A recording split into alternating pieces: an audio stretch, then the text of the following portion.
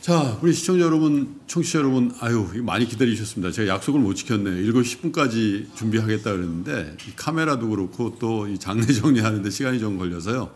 에, 그리고 이제 게스트 두 분께서도 막 준비가 끝나서 어, 예정된 시간보다 한 3분 정도 늦게 여러분께 인사를 드리겠습니다. 아침에 사실은 긴급하게 뭐 예정돼 있던 게 아니고요. 아침 출근길에 아이디어가 생겨서 예, 두 분을 섭외하게 됐고요. 아마 급하게 저희가 토론회 장을 만들어서 여러분께서 많은 기대를 하실 것 같은데 자 오늘의 주제는요 최근 한 달 혹은 두 달 그리고 몇 주 사이에 어마어마한 계좌 그리고 어마어마한 금액의 예탁금로 상징이 되는 개인 투자자의 주식시장 러시가 이루어지고 있습니다. 그런데 그때가 여러분 아시는 것처럼 글로벌 유동성에 대한 굉장히 큰 변동성이 있는 그때 들어오고 있기 때문에 과연 이 현상을 우리가 어떻게 봐야 되고 아, 과연 이 현상이 앞으로 금융시장에 또 주식시장에 어떻게 영향으로 전개될지에 대한 얘기 그리고 투자의 관점에서 만약에 정말 투자를 하신다면 어떻게 임하셔야 될지에 대한 아주 에, 뭐라고 할까요? 가슴을 연 토론을 한번 진행해 보겠습니다. 오늘 두 분 모셨는데요. 예고해 드렸습니다만은 두 분의 게스트를 여러분께 소개해 드리겠습니다. 먼저 제 왼쪽에 너무 유명합니다. 요즘에 뭐 별명이 뭐 의병 대장이라는 얘기도 들리던데 메리츠 자산운용 전리 대표를 모시겠습니다. 어서 오십시오, 대표님. 네, 안녕하세요. 예. 그래서 복장도 그러시게 그렇게 입고 오신 것 같습니다. 아니에요, 일부러 그런 가볍게. 네, 자, 복장입니다. 예, 제 오른쪽에는 에, 지난주에 한번 나오셔서 아주 그 에, 허심탄회하고 또 격의 없는 말씀을 주셔서 굉장히 큰 insight를 주신 전임 에, 공무원연금관리공단의 에, CIO를 하셨죠 이창훈 대표님 모시겠습니다. 어서 오십시오, 대표님. 네, 반갑습니다. 원래 선약이 계셨는데 이 방송 때문에 cancel하시고 오시느라고. 맞습니다. 제가 끝나고 저녁을 대접하도록 두 분 모두 제가 저녁을 대접하도록 하겠습니다. 자, 이제 이 동학 개미 운동 뭐 이게 저는 뭐 92년부터 주식 투자도 하고 금융시장에 봤습니다. 처음 보는 것 같은데요. 먼저 존니 대표님께 여쭤보겠습니다. 전화 엄청 받으시죠 요즘에? 네, 그렇습니다. 인터뷰 요청도 많으실 거고. 네, 네, 네. 어떻게 보고 계세요? 최근에 개인의 이 주식시장 러시에 대해서? 아, 저는 이제 평소에 하던 얘기죠. 그러니까 예. 어, 특히 그 젊으신 분들 주식 투자는 반드시 해야 되는 거다. 예. 어, 주식이 대부분 위험하다 그러잖아요 한국에서는요. 그렇죠. 그래서 저는 주식에 투자하지 않는 게 위험하다고 계속 얘기를 해왔죠. 예. 근데 어 그래서 그 최근에 그런 그 개인들이 주식 투자에 관심을 가지는 거는 어 일단은 저는 굉장히 그 긍정적으로 봐요. 긍정적이다. 네. 근데 예. 이제 좀 더 알아봐야 되겠지만 예를 들어서 어떤 돈으로 투자하는지 예. 빚을 내서 투자하는지 아니면 전 재산을 여기다 걸고 있는지 예. 이제 그런 거에 대해서는 좀 우리가 좀 알아봐야 될 것 같은데요. 일단은 저는 어, 주식에 관심을 갖는 거는 너무나 당연한 거고 예. 또 어, 예를 들어서 주식이 어, 올해에 비해서 25% 싸잖아요. 예. 그러니까 싼 거에 대해서 싸진 거에 대해서 사람들이 관심이 갖는 거는 일단은 좋은 현상이라고 생각이 들어요. 음, 보람을 느끼시는 것 같으세요? 그동안에 그, 한 5, 6년 계속 주식 사야 된다고 한그 예. 결실을 요즘 보는 거 아닌가 그런 생각을 갖고 계신 거 아니세요? 아 글쎄요. 네 이제 조금 전에 얘기했지만 그 어, 어떤 돈인지 예. 그게 예를 들어서 정말로 어, 일단은 계좌를 열고 주식에 관심을 갖는 거는 좋은데 예. 예를 들어서 꾸준하게 해야 되죠. 음, 지금부터 이번에, 문제다. 예, 이번에 한 번 하고 그냥 난 안 하다 하면 안 예. 되고 또 이제 어떤 얘기들이 나오냐면은 결국은 또 외국인들의 뭐 총알 바지가 될 거다 이런 예. 부정적인 얘기들이 나오는데 예. 주식 투자하는 거를 제로섬으로 아직도 생각하는 사람이 너무 많은 거예요. 어, 한 사람이 예. 돈을 보면 한 사람이 잃어버리는 걸로 예. 그런 게 아니고 주식이라는 거는 내가 갖고 싶은 회사의 지분을 취득하는 거잖아요. 네. 너무나 지극히 간단한데 알겠습니다. 너무나 한국에서는 예. 아직도 한 사람이 일면 한 사람이 다른 거로 생각하는 거죠. 그러니까 외국인과 저 이 동학 음, 개미들과 한판 대결로 보는 분들도 있더라고요.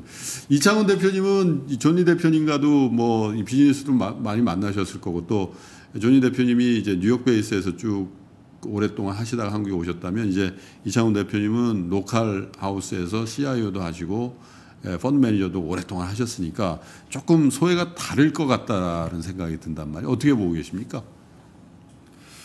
그 글쎄요 뭐 개인들이 그 주식에 대해서 그 많이 관심을 갖고 어, 투자하고 하는 것들은 지금 저 조은희 대표님도 말씀하셨지만 어, 부정적이지는 않은 것 같아요. 예. 어, 근데 이제 어, 어떻게 하느냐 네. 어, 그런 것들이 되게 중요하지 않겠나. 그러니까 이게 저는 생각에 뭐 최근에 무슨 어, 무슨 동학 뭐 이렇게 동학 개미 운동 이렇게 얘기하는데 예.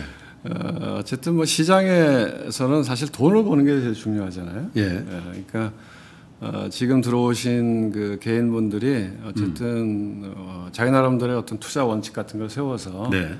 어, 궁극적으로 어, 수익을 내실 수 있도록 해야 예. 이게 바람직하지 않나 이런 생각이 네. 듭니다. 주변에서 전화 많이 받으시죠. 지금 주식 사도 됩니까? 혹은 지금 삼성전자 사도 됩니까? 저도 많이 받으니까 뭐 이창훈 대표님은 하루에 몇 번씩 받으실 것 같은데 뭐라고 답을 하세요? 그러니까 이제 제가 지난번에 나왔을 때도 그런 얘기를 했던 것 같은데 예. 그러니까 자기 나름대로의 이제 투자 기간이 어느 정도 되느냐. 예. 그 다음에 어, 자기가 투자하는 그 자금의 성격이 어떠냐에 따라서 예. 좀 많이 다를 것 같아요.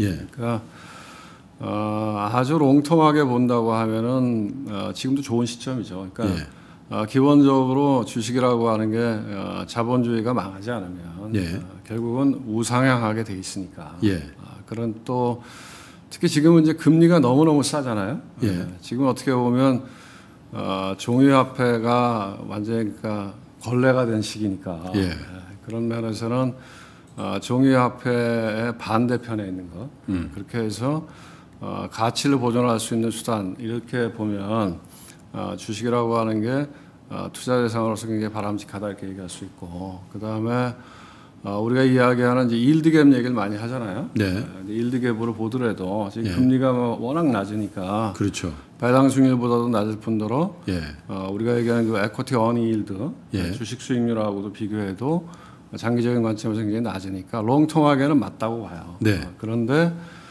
어, 자금의 성격이 어떠냐에 따라서 얼마나 견딜 수 있느냐. 음.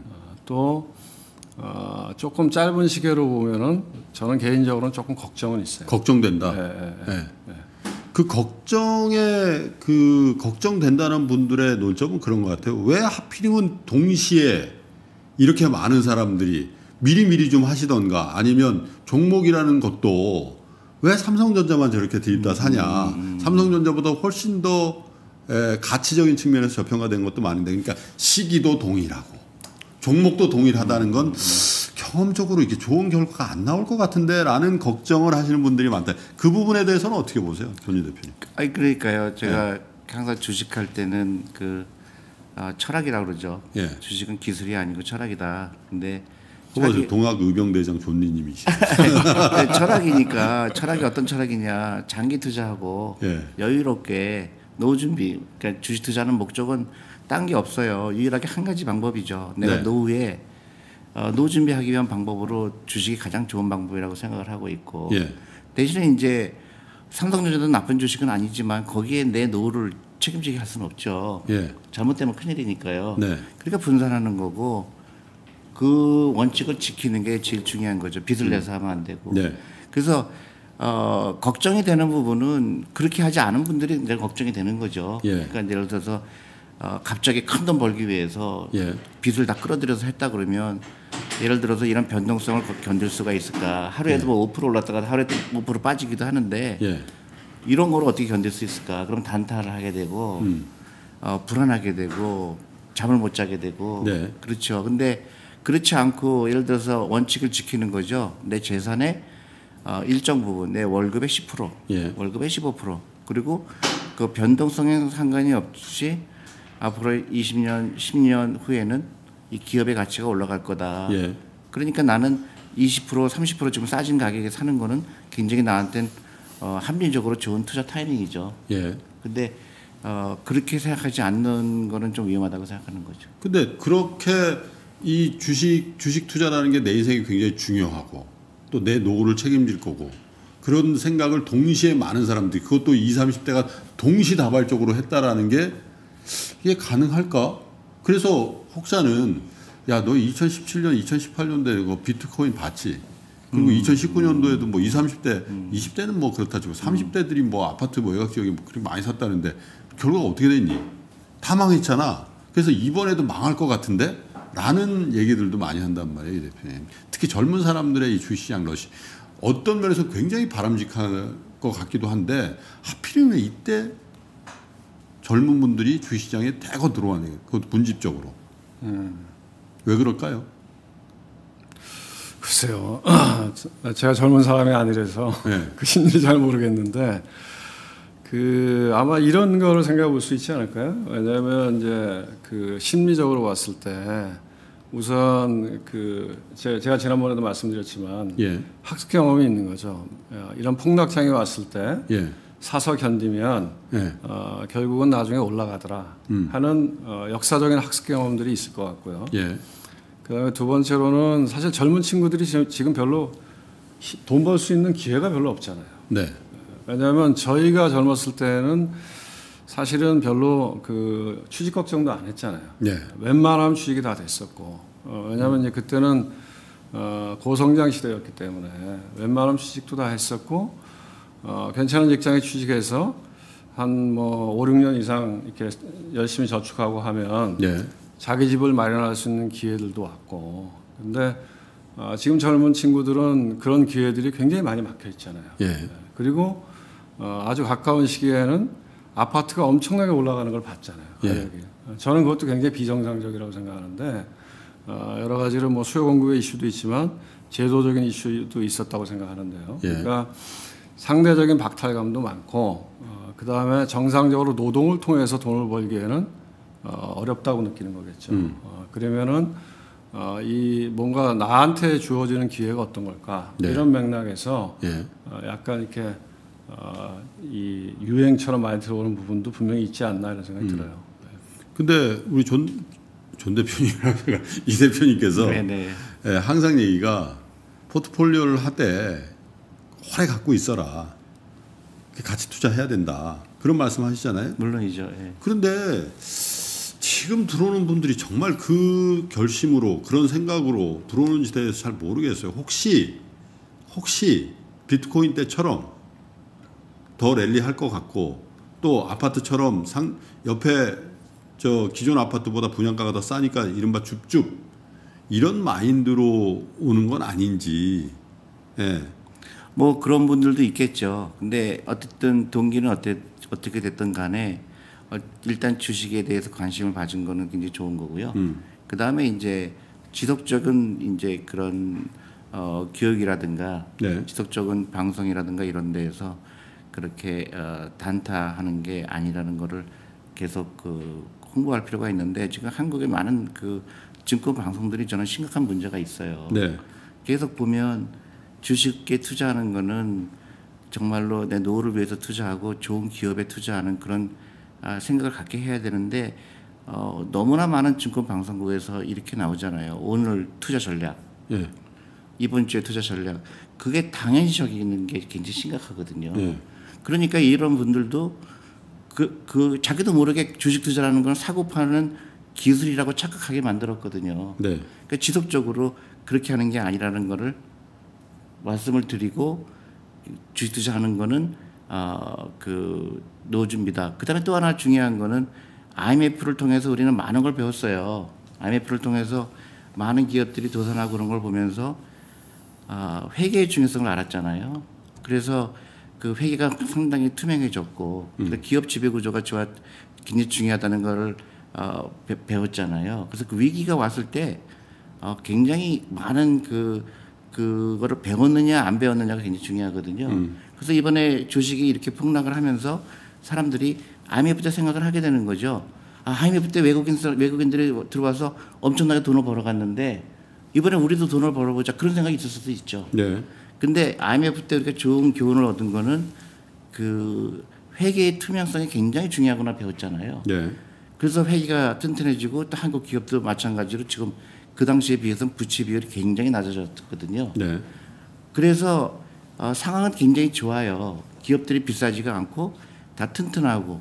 근데 지금부터는 어떻게 해야 되느냐 이분들을 장기 투자로 유도해야 되고 또 이번 투자하는 걸로 끝나는 게 아니라 여유 자금을 계속 만들어서 투자하게 만들고 또 하나는 어 우리 제도와 법을 이제 고쳐야 되죠 한국에서 지금 그럼 우리가 우리 젊은 사람들이 이 회사를 샀는데 기업을 샀는데 한국 사람들이 산 거잖아요 한국 기업이잖아요 예. 그러면 이거를 더 가치가 있게 만들어야 되잖아요 어떻게 해요? 기업을 예.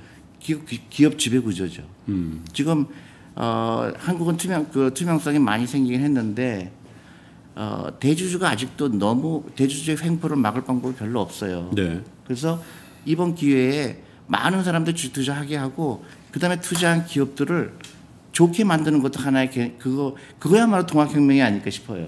가버넌스를 바꾸고. 그렇죠. 그래서 어, 투자한 사람들이 경영진과 같이 어, 돈을 다 같이 버는 예. 그런 거를 만드는 게 진정한 통합혁명이 아닐까 생각이 들어요. 술술 진짜 의병장 같으신데. 제가 의도는 아니지만 아니 근데 예. 그 중요한 말씀이신데 이창훈 대표님께 이렇게 여쭤보고 싶어요. 저도 그게 좀 헷갈릴 때가 있어요. 저도 이제 가치 투자가 좋고 또뭐 투명 복도를 쌓아야 된다라고 얘기하고 해자가 있는 기업을 투자해서 죽을 때까지 갖고 있는 게 좋고 법인류의 그런 어록들에 대해서 귀에 못이 박히도록 들었거든요. 근데 지난번 출연했을 때 무슨 쌍팔년도 얘기를 하냐. 지금 무슨 그런 게 어딨냐. 근데 왜 다른 분이 그런 얘기를 했으면 제가 흘려들었을 텐데 우리나라 손꼽히는 연금공단 CIO를 하신 분이 그런 얘기를 하시는데 뭐 어떻게 어떤 배경에서 그런 말씀하신 겁니까? 그 제가 그 얘기 어, 그 얘기 전에 제가 다른 얘기 좀 하고 예, 예, 그, 말씀하세요. 아까 지금 이제 좌니 대표님 얘기하신 거 이어서 내가 조금 이 얘기를 세- 풀어보면 예. 저는 지금 그 주식 사는 부분에 대해서는 조금은 신중해야 된다고 생각해요. 지금 네, 예. 왜냐하면 아까 이제 IMF 얘기도 하셨는데 예. 어, 우리가 이제 경험했던 crisis가 크게 두 가지잖아요. 예. 어, IMF 뭐 말이 IMF지만 사실 IMF가 아니라 아시아 금융위기, 아시아 외환위기였죠. 예. 어, 또 하나는 이제 2008년도에 subprime으로 시작했던 금융위기였고. 예. 근데 이제 그 저희가 1997년도, 98년도에 제가 이제 삼성에서 주식운영 팀장할 때인데 그때하고 지금 상황은 좀 다르다고 봐요. 예. 그때는 왜냐하면 일시적인 쇼크였거든요. 예. 어, 그때는 우리나라가 어, fundamental 같은 경우에는 예. 어, 별로 큰 차이, 그 흔들림이 없었어요. 예. 다만 이제 그때는 뭐가 문제였냐면 기업 side에서 leverage가 너무 컸던 거죠. 음. 우리가 대표적으로 알 수 있는 게 대우그룹이었는데 네. 그때는 고성장 시대가, 시대였기 때문에 기업들이 leverage를 많이 해서 성장을 했던 시기거든요. 예. 아 그러던 와중에 어, 이제 아, 그이 태국부터 시작했던 거죠. 네. 태국에 이제 타이바트가 그때 고정환율제였거든요. 그렇죠. 그러니까, 어, 태, 태국의 타이바트가 고평가되어 있었기 때문에 그 헤지 펀드들이 거기를 공격하면서부터 태국 타이바트부터 무너지면서 도미노로 해서 아시아의 외환위기가 왔던 거고. 그렇죠. 예.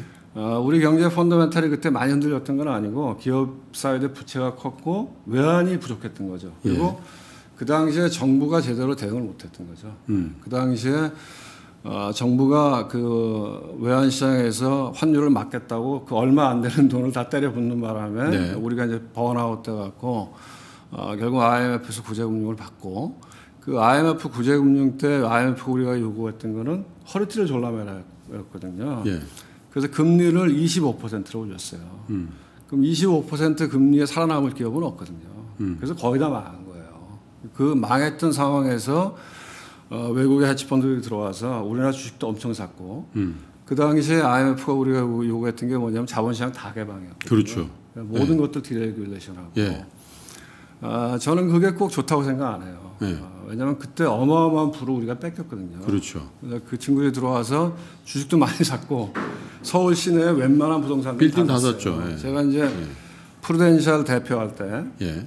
어, 제가 그 뉴욕에 가서 본사 애들하고 만나서 이렇게 밥을 먹는데 한 친구가 같은 테이블에 친구가 얘기하더라고. 자기 서울을 잘 안대요. 예. 내가 서울을 가봤습니까? 그랬더니 자기 가보진 않았대. 예. 어떻게 서울 잘 압니까? 그랬더니 어, 우리가 그 IMF 때 서울에 들어가서 빌딩을 사갖고 많이 샀더라고. 뭐 한서울 빌딩도 사고, 뭐 서울 스퀘어 빌딩도 사고, 그래서 돈을 많이 벌었다 그러더라고요. 그래서 그때는 사실은 우리가 기업의 펀, 어떤 이 경제 구조의 fundamental 이슈가 있었다기보다는 예. 아, 일정 부분은 외환이 부족했고 일정 부분은 좀 외국인들한테 당한 거죠. 예. 그랬기 때문에 그게 정상화되는 과정에서 빠르게 주가가 회복될 수 있었다. 근데 아, 그때하고 지금하고는 저는 상황이 좀 다르다고 봐요. 어, 그래서 지금은 이게 어, 그때는 아시아에 국한됐던 이슈고 어, 외환에 국한됐던 이슈인데 아, 지금은 이 글로벌 이슈거든요. 그리고 어, 전문가들의 얘기를 들어보면 어, 이게 그렇게 금방 끝날 수 있는 이슈는 아니거든요. 그래서 어, 저는 지금의 이, 이 코로나 바이러스로 인한 팬데믹 이슈는 글로벌리 어, 경제 펀더멘털에 임팩트를 줄 수 있는 이슈다. 그래서 그렇게 쉽게 어, 접근할 문제는 아니다 하는 게 1번이고요. 네. 그 다음에 이제 어, 아무래도 이게 좀 토론이 돼야 재밌을 것 같아요. 예, 그렇죠. 그래서 예, 예. 가버넌스 이슈도 예. 전 다르게 봐요. 음. 그러니까 Korea discount가 어디서부터 오느냐. 음. 아, 그러면 옛날엔 다 북한 얘기를 했거든요. 아, 그 다음에 이제 Korea governance 이슈를 했어요. 예. 얘기를 지배구조. 어, 일정 부분 일리가 있어요. 뭐냐면 어, 대주주의 이해관계와 일반 주주의 이해관계가 동일선상에 있지 않는 거죠. 예. 아, 그러면 주식의 가치라고 하는 게 discount 될 수밖에 없죠. 예. 왜냐하면 내가 들고 있는 삼성전자 한 주와 어, 예를 들면 오너가 들고 있는 삼성전자 한 주가 동일한 가치여야 되는데 예. 아, 실적은 아니라는 거죠. 음. 어, 그건 이제 극명하게 보여지는 게 우리가 이제 M&A 같은 거 할 때 보면 예를 들어서 뭐 대우증권을 미래가 샀잖아요. 어, 그러면 M&A 같은 거 하면은 넘어갈 때 대주주 지분만 경영권 프리미엄을 받고 넘어가거든요. 그렇죠. 산업은행 거를 저 미래에서 사실은 그 텐더 오퍼를 해야, 해야 되거든요. 예. 텐더 오퍼를 하는 나라도 있어요. 예. 그러니까 반대하면 주식을 던져라. 예. 그러면 동일한 가격으로 사주겠다. 예. 근데 사실 우리는 그렇게 안 돼 있거든요. 매수 청구권 발동하라는 얘기죠. 하, 우리 매수 청구를 하더라도 예. 그냥 시가로 하잖아요. 그렇죠. 사실은 경영권 프리미엄을 얹어서 사주는 부분이 있어야 음. 되거든요. 그래서 분명히 Korea governance의 discount 이슈는 있는데 그러면 지금 우리나라 한국 주식이 discount 되는 게 가버넌스 이슈냐 그게 전부 다냐 저는 꼭 그렇게는 안 봐요. 오히려 가버넌스 이슈보다는 regulation 이슈가 더 크다고 봐요. 아 규제. 예, 왜냐하면 governance가 뭐가 좋냐? 예, 그거는 사실은 아, 양쪽으로 다 볼 수 있어요. 왜냐하면 아, 우리는 ownership이 있기 때문에 예. 어, 미국 회사 같은 경우에는 ownership이 없죠. 예. 대신 시장이 규제를 하죠. 예. 어, 대신에 미국은 굉장히 systemic하게 시장 경제가 아주 잘 발전돼 있기 때문에 음. 어, 그럼에도 불구하고 돌아간다는 거죠. 근데 만약에 우리가 대주주가 없다. 그러면 제가 보기에는 예를 들면 삼성전자를 놓고 봤을 때 삼성전자에 들어와 있는 많은 외국인들이 long-term investor냐? 네. 저는 아니라고 보거든요. 어.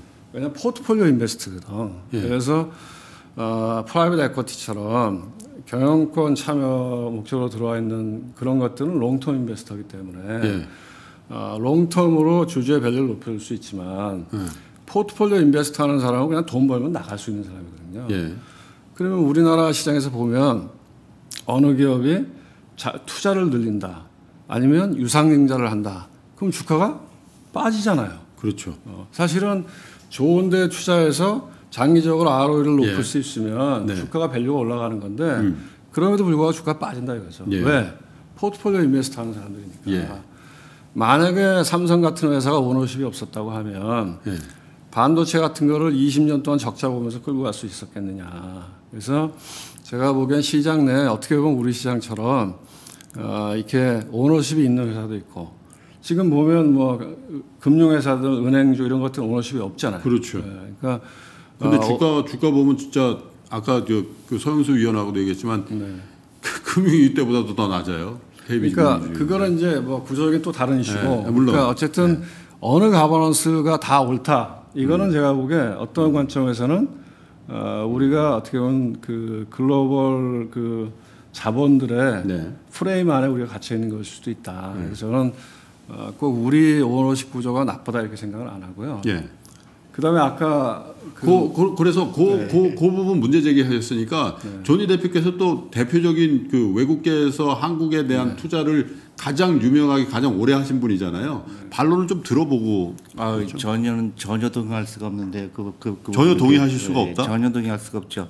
이거 사회자로서는 자본주의의- 사회자로서는 아주 흥미로운 주제가 자본주의의 생겼 가장 기본이잖아요. 우리 자본주의에 버틸 수 있는 거는 예. 기업은요 기업은 주주가 갖고 있는 거잖아요. 네. 그러면 그 경영진이 주주의 권리를 똑같이 인정하는 게 가장 자본주의 기본 시스템이에요. 예. 그죠? 근데 어, 오너기 때문에 내가 대주주기 때문에 내가 마음대로 할 수 있다는 거는 지금 한국의 기본 그 가격이 싼 이유 중에 가장 큰 이유가 그 내가 그, 그 주주로서의 권리를 지, 지켜, 지켜지느냐가 굉장히 궁금한 그, 그 불안한 잘 거거든요. 모르는 거지. 그렇죠. 그러니까 주가가 싸지는 거예요. 예. 그러니까 동양 제가 오늘 corporate governance 때문에 얘기하는 건 아닌데 네. 이제 많은 사람들이 주식을 사는 이유에 대해서 얘기하는 건데 네. 주식을 샀을 때는 그, 그 주식을 샀을 때 10년, 20년을 갖고 있으려고 그러면 가장 중요한 거는 이 경영진이 주주의 권리를 인정하느냐예요. 예. 그 이상도 그 이하도 아니에요. 근데 한국 기업을 보면 대주주가 갑자기 이상한 회사를 만들어서 자녀가 그걸 경영하게 하고 부가 어, 딴 데로 흘러 들어가게 되고 그러니까 기업의 가치가 떨어지는 거고 저, 대한민국 전체로 봤을 때는 자본시장이 어, 선진국에 못 가게 되는 거고 네. 믿음을 못 주게 되는 거고 그 전반적인 어떤 글로벌 corporate governance가 다르고 한국적 그 corporate governance가 다르고 이건 있을 수가 없는 거예요. 자본주의는 자본주의자고 주식에 투자하는 이유는 딱 한 가지예요. 예. 기업이 잘 됐을 때 내가 이 다음에 5년, 10년 있다가 20년 있다가 그 기업의 가치가 올라가는 거를 공유하는 거예요. 예. 그 이상도 그 이하도 아니죠. 근데 뭐 오너가 없었으면 어떻게 되겠느냐 뭐 이런 그 글로벌한 거하고 우리하고 안 맞을 수 있다. 이거는 도저히 말이 안 되는 얘기라고 생각해요. 이 대표님 반론을 들어볼까요? 아니, 너무 그- 너무 그건- 이게 직접적인 아니, 그러니까 말도 안 되는 저- 얘기라고 저는- 하니까. 아니, 그러니까 아, 좀 깜짝 놀랐어요. 아니, 이렇게 깜짝 놀랐대요. 아니 그러니까 그거는 그러니까 그거는 관점의 차이라고 생각해요. 예. 그러니까 어, 오너십이 있느냐 없느냐 갖고서는 그러면 가- 저, 이 코퍼레 가버넌스가 맞냐 틀리냐 예. 저는 그거에 동의하지 않는 얘기고요. 예. 다만 이제 지금 저 전희 대표도 얘기했지만 예. 그게 전체적으로 시장에서 예를 들면 예. 시장이라고 하는 거는 어, 대주주도 있- 있고 기관 투자가도 있고 예. 개인 투자자도 있잖아요. 그렇죠. 그 시장에 많은 사람들이 참여해서 음. 그 사람들로부터 공감을 얻을 수 있느냐. 네. 예? 그러니까 예를 들어서 오너십이 있는 기업이라도 음. 정말 투명하게 경영하고 네. 제가 이제 말씀드린 거 이런 거예요. 어, 어떤 그 기업가 정신이 살아있는 네. 리더십이 있으면 예. 롱텀으로 기업의 밸류를 높이는 데는 더 유리할 수도 있다는 얘기거든요. 그렇죠. 그러니까 그런 것들이 시장에서 투명하게 공시되고 그다음에 시장에 참여하는 모든 사람들이 공감할 수 있으면 예. 그 회사의 밸류는 올라간다는 거죠. 음. 그러니까 단순하게 우리는 뭐 오너십이 있기 때문에 네. 가버넌스가 후진화돼 있다. 음. 물론 저도 이제 그런 건 동의해요. 뭐냐면 뭐 오너십이 있기 때문에 오너십과 경영권은 다른 이슈잖아요. 네. 그러면 뭐 대주주가 예를 들면 지분이 저 대주주도 아니잖아요. 실제로 뭐 대기업 같은 게 지분이 뭐, 얼마 되지도 뭐, 않잖아요. 뭐10% 안쪽인데도 네, 대주주. 그럼에도 역할을 불구하고 혈통 때문에 경영권을 세습하잖아요. 음. 그런 것들은 저도 동의하지 않아요. 네. 그러니까 경영권이라고 하는 거는 어, 기본적으로 그 회사의 주주의 밸류를 올릴 수 있는 사람이 해야 된다고 저 동의해요. 근데 우리가 그냥 이분법적으로 뭐 이렇게 오너십이 없는 게 좋고 네. 어, 주식에 뭐 분산되어 있는 게 좋고 네. 반드시 저는 그런 건 아니라는 말씀을 드리는 거죠. 근데, 근데 제가 더 중요한 거는 예. 사실 예- 예를 들어서 이제 한번 봐봐요. 그러니까 우리나라는 어, 제가 뭐 이런 얘기를 해도 되는지 모르겠는데 제가 이제 됩니다. 뭐 공공 저 공적연구에서 나온 지 한 1년 가까이 돼 가니까 네. 이제 좀 뭐 자유롭게 얘기해도 될 텐데 어, 우리는 그 오너십이 없으면 예. 그 오너십의 자리를 누가 차지할 거냐 이거죠. 예? 그러면 어, 예를 들어서 미국처럼 주주들이 그럼 경영권을 행사할 수 있느냐? 네. 그 미국 같은 경우에는 그 이사회가 굉장히 강력하잖아요. 예. 대신에 이제 미국 같은 경우에는 그 소유와 경영에 분류되어 있기 때문에 네.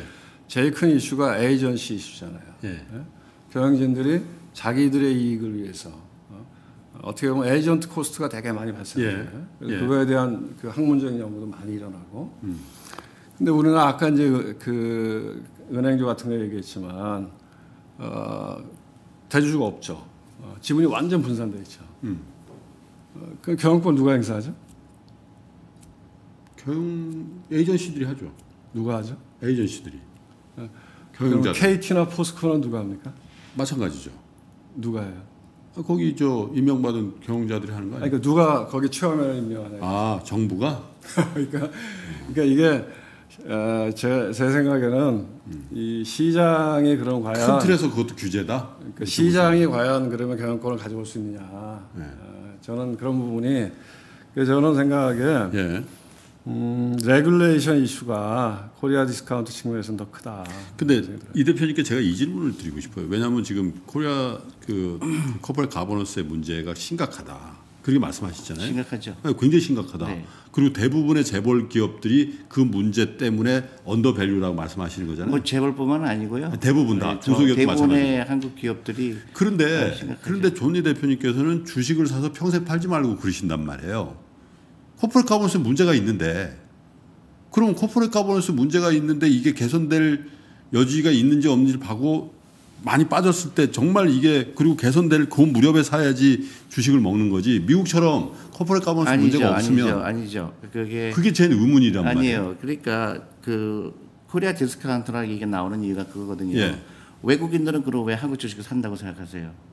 그러니까 지금 큰- 40%의 큰 회사만 사는 거 아니에요? 한국 주식의 40%를 미국 사람이 가- 지금 외국 사람이 갖고 있잖아요. 예, 가격이 너무 싼 거죠. 음, 그것 때문에 네, 예를 들어서 기- 똑같은 기업이 미국에 상장돼 있다 그러면 200을 받을 수 있는데 한국에 상장돼 있기 때문에 100인 거예요. 아, 그 corporate governance 디스카운트 돼 있기 때문에 산다. 음. 당연하죠. 그러니까 그걸 감안했을 때 너무 싼 거죠. 그러니까 코리아 디스카운트 나오는 거예요. 그러니까 정말로 한국의 부를 극대화시키려 그러면 네. 코퍼레 거버넌스를 그상그 어, 상승시키면 기업의 가치가 올라가죠. 예. 그러면 국부 그게 국부인 거예요. 그래서 한국의 기업의 가치가 좋아지고 그러면 전체적으로 한국의 부가 상승하는 거죠. 그러니까 이 주식의 탕 지금 코퍼레 거버넌스에 문제가 있지만 네, 장기적으로 봤을 때 한국이 발전할 것이다. 네, 좋아질 것이다. 네. 한국도 옛날에는 엉터리였지만 어, 회계도 엉터리였지만 이제 그, 그만큼 주식이 더 쌌었고 예. 지금은 이제 앞으로 한국이 어, 선진국으로 가면서 이 corporate governance가 좋아질 거다. 그런 희망 때문에 사는 거죠. 근데 일본도 마찬가지예요. 일본도 그 corporate governance가 엉망이었죠. 근데 지금 많이 좋아지고 있죠. 그러니까 한국 사회가 앞으로 더 선진국처럼 잘 될 거냐 하는 그런 믿음에 투자하는 거고요. 그러니까 저는 잘 될 거라고 봐요. 근데 네. 그 일본 말씀을 하셔서 저이 대표님께도 뭐 똑같은 질문 드리고 싶은데 일본에 잃어버린 20년 동안 일본 주식은 거의 그냥 계속 빠졌잖아요. 바닥을 기었어요. 최근에 뭐 아베 연간에 좀뭐 아베노미스가 오르는지 모르겠습니다만 근데 그 20년 동안에 일본의 코퍼레 가능성 개선됐을 거 아닙니까? 그런데도 계속 빠졌단 말이에요. 아니죠. 일본에 비해서는 약간 달라요. 일본에 어, 30년 전에는 그 일본 주식이 무지하게 버블이었죠. 예. 그러니까 그 당시에 PER가 얼마인지 아세요? PER가 마켓 PER가 한뭐한 한 한 80이랬어요. 한 50, 예. 예. 70이랬어요. 그리고 어 그리고 일본 사람들은 어 제가 이 동학혁명이라는 얘기가 나왔는데 진짜 동학혁명은 어이 주식에 대한 인식의 저기 인식을 변하게 하는 게 더 오히려 더 동학혁명이라고 생각이 들어요. 일본 같은 경우는 가장 잘못된 그 투자 결정을 했잖아요. 사람들이 개인들이 대부분의 자산을 부동산하고 은행에 넣었잖아요. 그러니까 돈이 일하게 하는 거를 국민들이 몰랐던 것 뿐이에요. 그래서 정말로 한국은 어, 그런 면에서 어, 일본이 잘못한 그 미스테이크를 30년 동안 한 거를 예. 한국은 따라가면 안 된다. 그런 면에서 일본 사람은요 주식에 투자하는 거를 부끄럽게 여겨요. 음.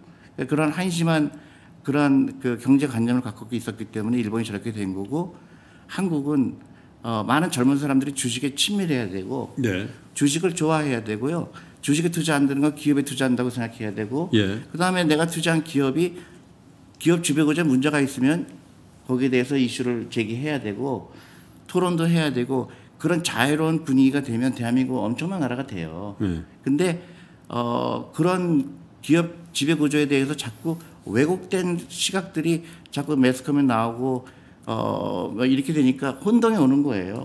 근데 저는 굉장히 간단해요. 기업 지배 구조는 모든 주주는 똑같이 출대해야 된다. 예.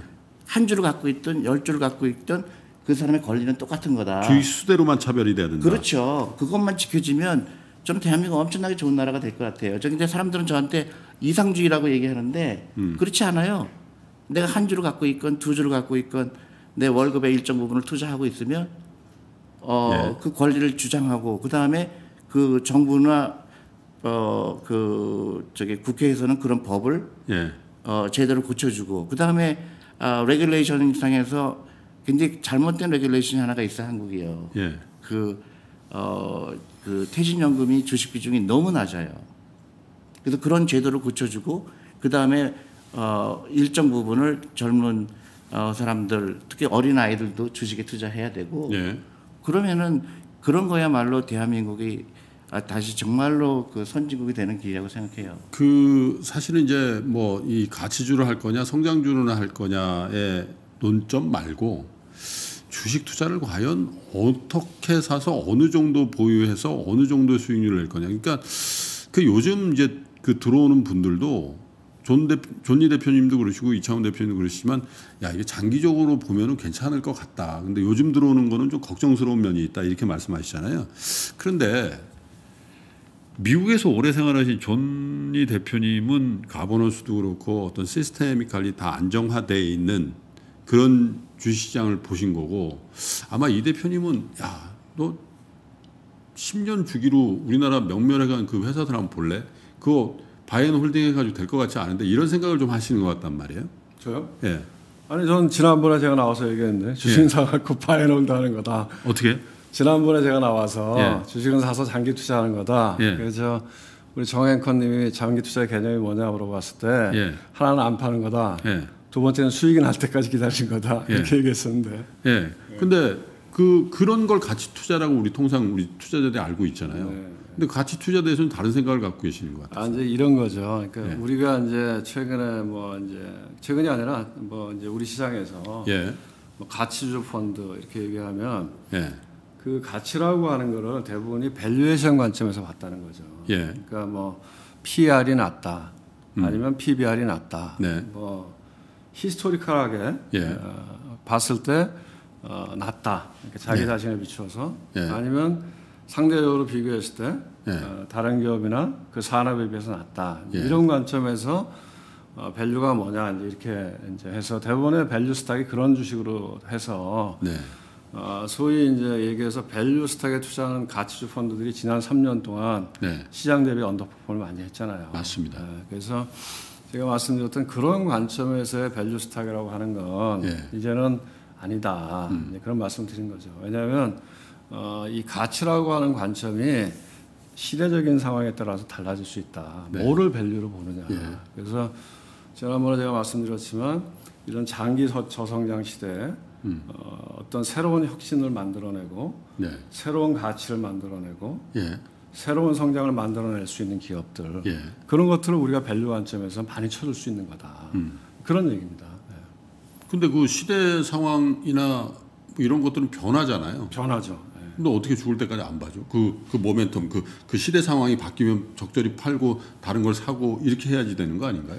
그렇죠. 근데 이제 그, 근데 그게 그 주기가 계속 짧아지고 있는 거 아니에요? 아니 그러니까 이제 제가 생각엔 그 우리가 얘기하는 시대 정신이라고 하는 건 예. 단기적인 테마하고는 좀 다른 거죠. 네. 왜냐하면 테마라고 하는 거는 어, 굉장히 빠르게 시장에서 유행처럼 왔다 갔다 하는 거잖아요. 예. 그런 게 아니라 우리가 어떤 시대의 패러다임이 바뀌는 예. 그런 관점에서 그 시대를 변화시키고 새로운 가치, 가치 를 만들어내는 그런 것들이 있잖아요. 예. 그러니까 우리가 그냥 상식적으로 봤을 때 스마트폰 예. 이런 것들은 어, 새로운 것들을 만들어낸 거잖아요. 인류한테.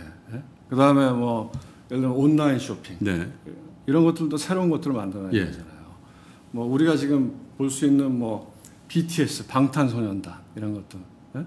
그 다음에 어, 최근에 뭐 이렇게 어떻게 보면 지금의 어떤 시대 정신일 수도 있는 뭐 헬스케어 음. industry 이런 것들은 지나가는 유행과 같은 테마가 아니고 인류의 삶에 정말로 변화나 가치를 줄 수 있는 새로운 트렌드잖아요. 음.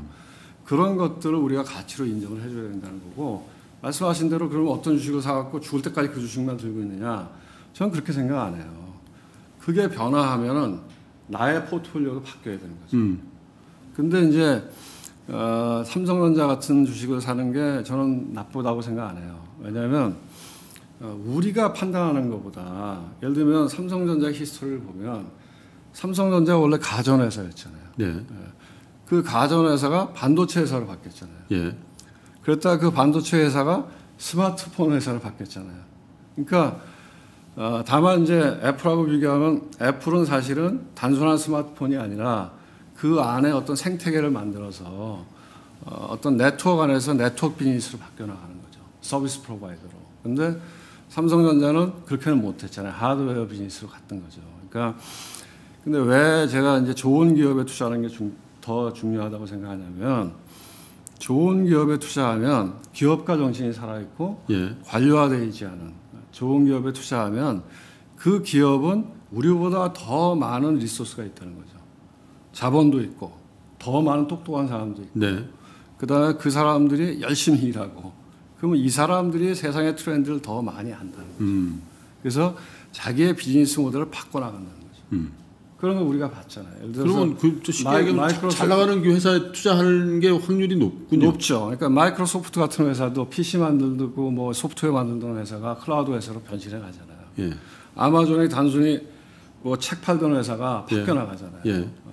온라인 쇼핑 회사로 갔다 그다음에 cloud. cloud 회사로 갔다. 예. 그러니까 그런 관점에서 기업가 정신이 살아 있고 좋은 회사에 예. 투자하는 건 되게 중요하다는 생각이 들고요. 음.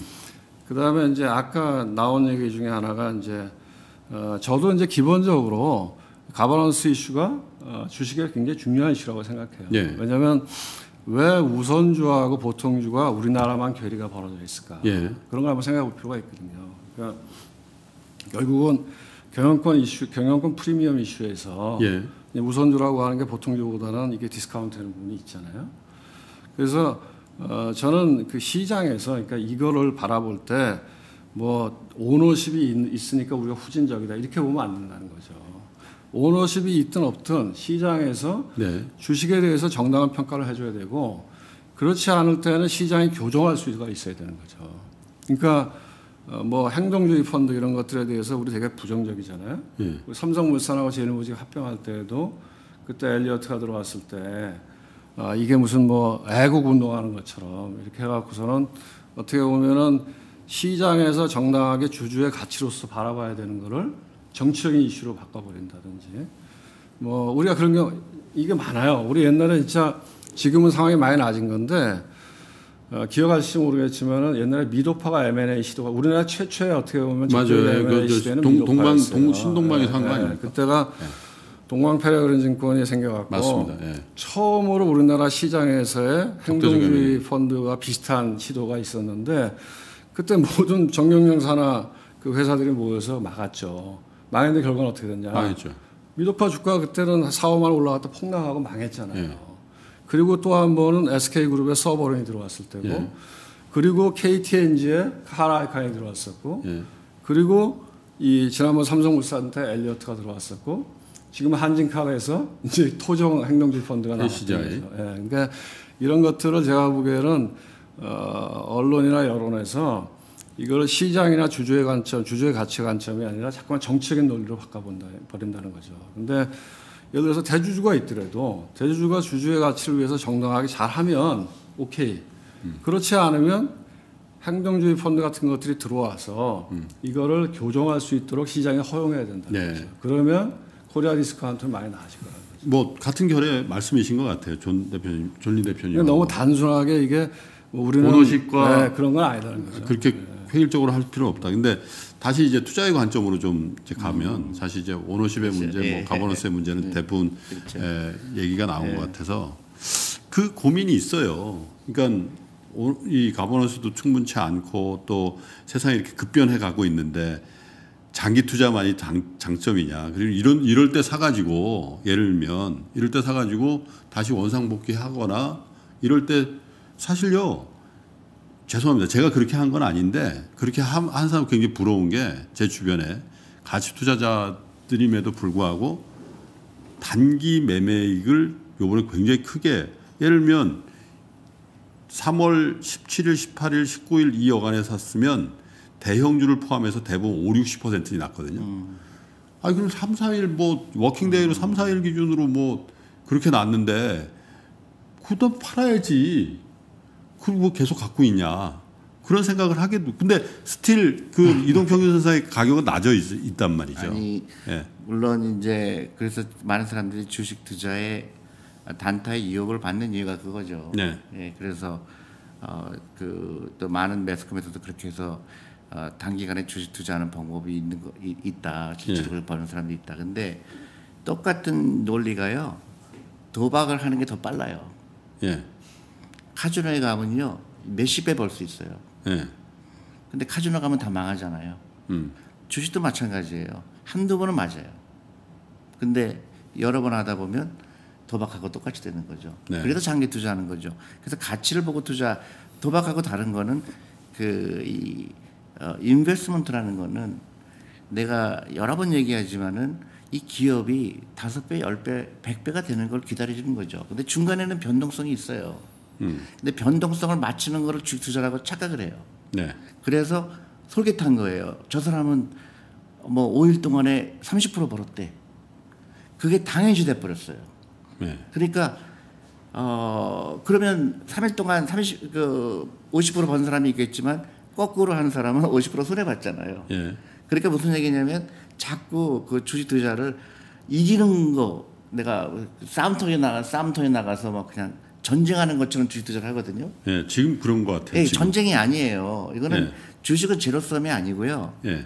이 예를 들어 어떤 사람은 3만 원에 사고 어떤 사람은 2만 원에 사고 어떤 사람은 5만 원에 샀을 수도 있지만 꾸준히 사는 거죠. 5만이 되 5만 원이 되건 어, 3만 원이 되건 내가 이 기업을 너무 좋게 보는 거니까 이 기업이 어, 10년 후에는 굉장히 커지겠다. 네.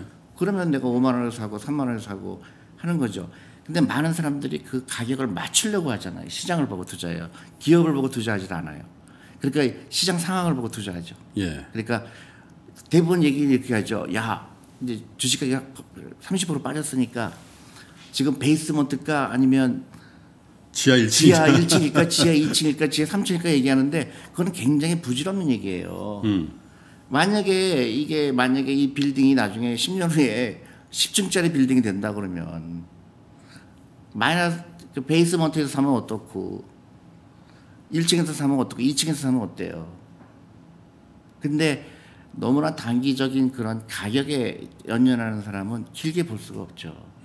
그래서 미국 같은 경우도 개인들이 그렇게 그런 실수를 할까봐 60세까지 못 찾게 하는 거예요. 2, 3년 다 투자해봐라. 다 부자 될 거다. 근데 조급하게 생각하지 마라. 근데 사람들은 그 가격을 우리가 부동산에 투자하게 되면 매일 가격 안 보잖아요. 그래서 부동산에 투자하면 돈은 버는 거라고 착각을 하잖아요.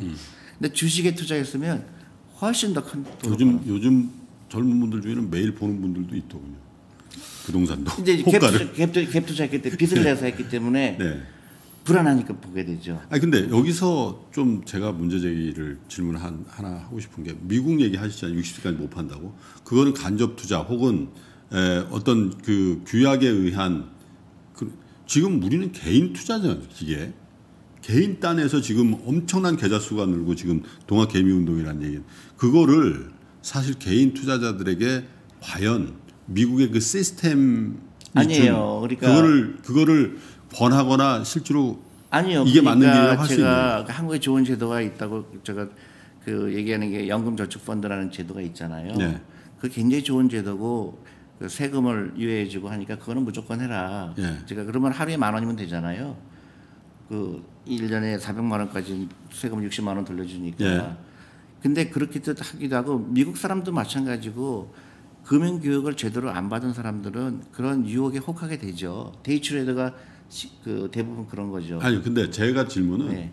그게 나쁘다는 게 아니라 혹시 말씀드리면요 한국의 간접 투자 상품에 들어가서 예? 개인 투자단에서 해피한 사람이 없어요. 그래서 사실 이번에 동학 개미 운동이 벌어진 게 간접 투자하고 내가 직접 하지. 그래서 직접 하는 게 가장 좋은 종목이 삼성전자라고 거기에 집중돼 있다라고 얘기들 한단 말이에요.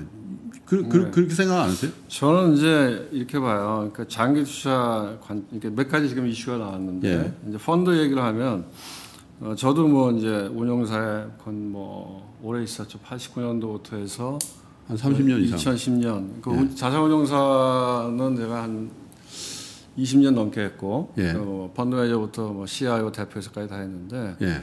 왜 지금 그러면 간접 그 펀드 시장이 죽었을까? 예. 어, 저는 개인들이 어리석어서 죽었다고 생각 안 해요. 그러면요. 잘 못한 거죠. 운용사가 그렇습니다. 예. 왜냐하면 어, 두왜 가지인데 미국 미국 펀드 매니저보다 한국 펀드 매니저 그렇게 능력이 없어요? 왜 잘못되는 거예요? 아니 그러니까 이제 그거는 이제 아까 장기 투자하고 연결해서 봐야 되는데 우선 하나씩 풀어 나가면 예. 어, 미국 시장은 계속해서 올라왔던 시장이에요. 예. 우리가 어, 미국 시장을 비, 갖다가 한국 시장에 놓고서는 이렇게 똑같이 해서 투자를 이야기하기는 어려워요. 왜냐하면 어, 미국 시장은 그냥 심플하게 지난 10년만 놓고 보더라도 예. S&P 500은 다섯 배 이상 올랐어요. 예. 우리는 2,000포인트 놓고 계속 박스권이었어요. 예. 그렇잖아요. 그렇죠. 예, 지수가. 그러니까 미국은 제가 보기에는 계속해서 우리가 알지만 혁신을 만들어내는 회사잖아요. 예. 지금도 나왔지만 미국은 어쨌든 자유시장 경제가 활발하게 전 세계에서 가장 활발하게 돌아가는 나라잖아요. 그리고 기축통화인 달러를 갖고 있잖아요. 예. 우리나라는 어려웠을 때 니네 허리띠 졸라매하고 금리 20% 5% 올려갖고 다 죽었잖아요. 예. 그래서 건실해진 부분 분명히 있죠. 미국은 어떻게 했어요? 미국은 서브프라임 왔을 때 그럼 자기네들도 금리 올리고 허리 졸라 매야 되는 거 아니에요? deleveraging 하려면. 아니잖아요. 제로 퍼센트 양적 완화. 미국은 돈을 어마어마하게 풀어갖고 해결했잖아요. 그러니까 돈을 풀 수 있는 달러를 갖고 있잖아요. 예? 우리하고 시스템이 다르다는 거죠. 그리고 우리가 지금 볼 수 있는 이야기할 수 있는 뭐 아마존, 페이스북, 뭐 애플, 구글 새로운 인, 인- 인류에게 새로운 것들을 만들어내는 혁신이 일어나는 나라잖아요. 예.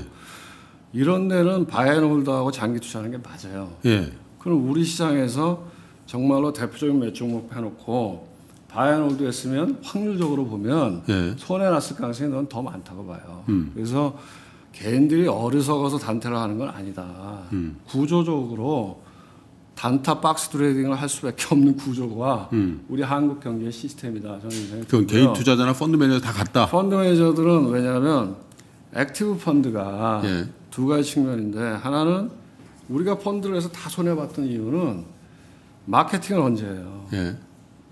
다 잘 팔릴 때 하잖아요. 예? 그렇죠. 다 조그맣게 펀드 만들어서 1년 동안 성과가 좋아요. 예.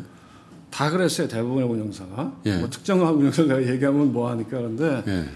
대부분이 대부분. 대부분이 처음에 시작하면 펀드가 잘해요. 그리고 늘어나요. 예. 그럼 돈이 들어올 때 자기 주식을 사는데 안 올라가겠어요? 1년 동안 수익률이 좋아요.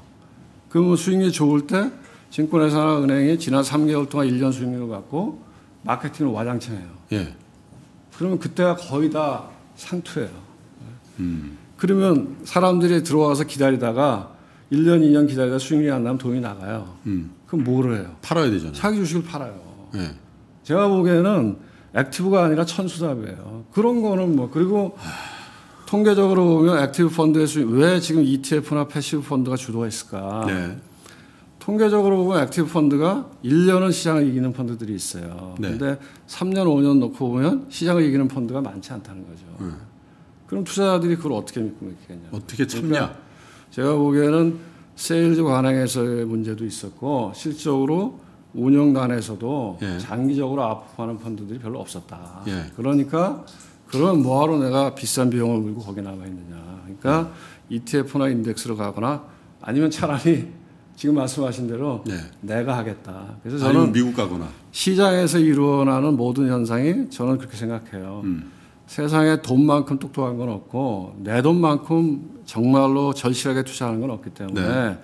그 사람들의 행동이 어리석을 수는 없다. 뭔가 구조적인 이슈가 있다 이런 생각이 들어요. 그래서 어, 한국 시장에서 근데 이 장기 투자가 정착하지 못하는 게 이 개미들의 어떤 뭐 어리석음 때문이 어리석음 아니다. 때문은 아니다. 아, 사- 시장에 참여하는 많은 사람들이 책임이 네. 있다는 생각이 들어요. 어떻게 보십니까, 이 대표님? 글쎄 누구 책임이고 아니고 그런 거는 사실은 그렇게 큰 의미가 있어 보이는 건 아니고요. 예.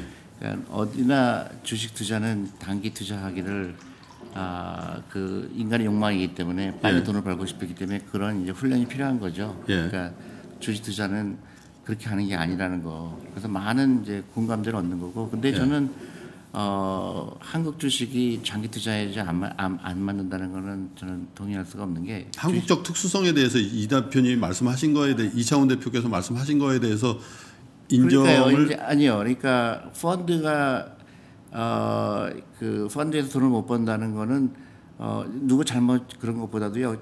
맞아요. 구조적인 문제가 있죠. 그러니까 어 그 판매 구조적인 문제가 있어요. 예. 그러니까 어 외국 같은 경우는 이제 많이 그걸 이제 no load fund라고 그러는데요. 네. 옛날엔 다 load fund였어요. 뭐냐면 어, 펀드를 팔 때 자산운용사가 파는 게 아니고 어, 은행이나 이제 증권회사가. 그 증권회사가 팔죠. 그러면서 굉장히 높은 수수료를 붙였고요. 어, 그러면서 그거를 그것까지 감안하고 수익을 내기가 쉽지가 않았죠. 예. 지금은 이제 그 한국이 지금 이제 어, 그러니까 load fund 시대죠. 아직은 근데 저희는 이제 이제 직판이 이제 생기기 시작하고 있다고 보는데요.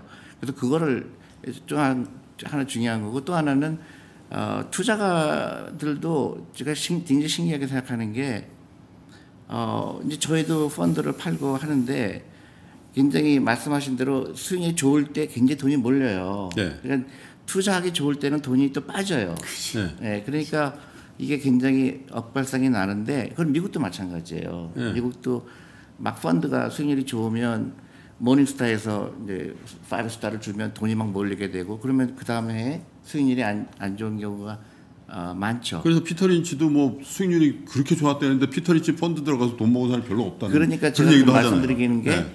어, 두 가지 양쪽이죠. 그러니까 한국에서는 그런 distribution, 네. 그러니까 펀드의 판매에 구조적인 문제가 있고 또 하나는 어, 자꾸 그 투자가들한테 잘못된 information을 주죠. 예를 들어서 펀드를 아, 팔면은 만약에 20% 손, 이익이 나면은 음. 어, 굉장히 부추기거든요. 딴 걸로 옮겨 타시라고. 그러면서 이제 또 선취 수수료를 받잖아요. 그러니까 어, 그 심각한 이제 이해상충이 생기는 거죠. 음. 하는 데와. 그러니까 우리가 펀드 매니저 입장에서는 우리 고객이 우리 펀드를 사셔서 꾸준하게 뭐 한 달에 10만 원도 좋고 5만 원도 좋고 꾸준하게 투자하면은 돈을 벌 수 있다고 생각되는데 어, 판매하는 데는 우리랑 생각이 틀린 거죠. 그래서 그런데 mismatch가 생기는 거고 또 하나는 또 펀드를 샀는데 대부분 사람들이 이렇게 사요. 펀드를 사서 뭐 만약에 천만 원어치 샀다. 예. 그러면 천만 원이 이천만 원이 될 수도 있지만 또 오백만 원이 될 수도 있거든요. 예. 근데 그게 예를 들어서 10년 기다리면 천만 원이 이천만 원도 될 수 있고 또 삼천만 원이 될수 있는데 그걸 대부분 못 기다려요. 못 기다리는 이유가 여러 가지가 이유가 있는데 어, 주식에 투자한다는 것을 잘못 이해한 거죠. 그러니까 천만 원 투자했는데 800만 원 되면 손절매라는 걸 해요. 또 굉장히 신기해요. 회사는 그대로 있거든요. 회사는 삼성전자 투자 내가 만약 삼성전자 투자했다 그러면 그 회사는 어디 도망 안 갔어요. 일주일 동안 달라질 거 하나도 없는데 20% 빠졌다는 이유로 손절매를 하라고 그러죠. 네. 그러니까 어, 지극히 지극 주식에 대한 인식이 정말로 잘못된 거죠. 여기서 이제 제가 카지노로 가는 예, 거죠. 이런 거. 아까 이창훈 대표께서 말씀하신 본질적인 미국 시장과 한국 시장의 차이 중에 예를 들면 미국 시장은 12년 동안 올랐습니다.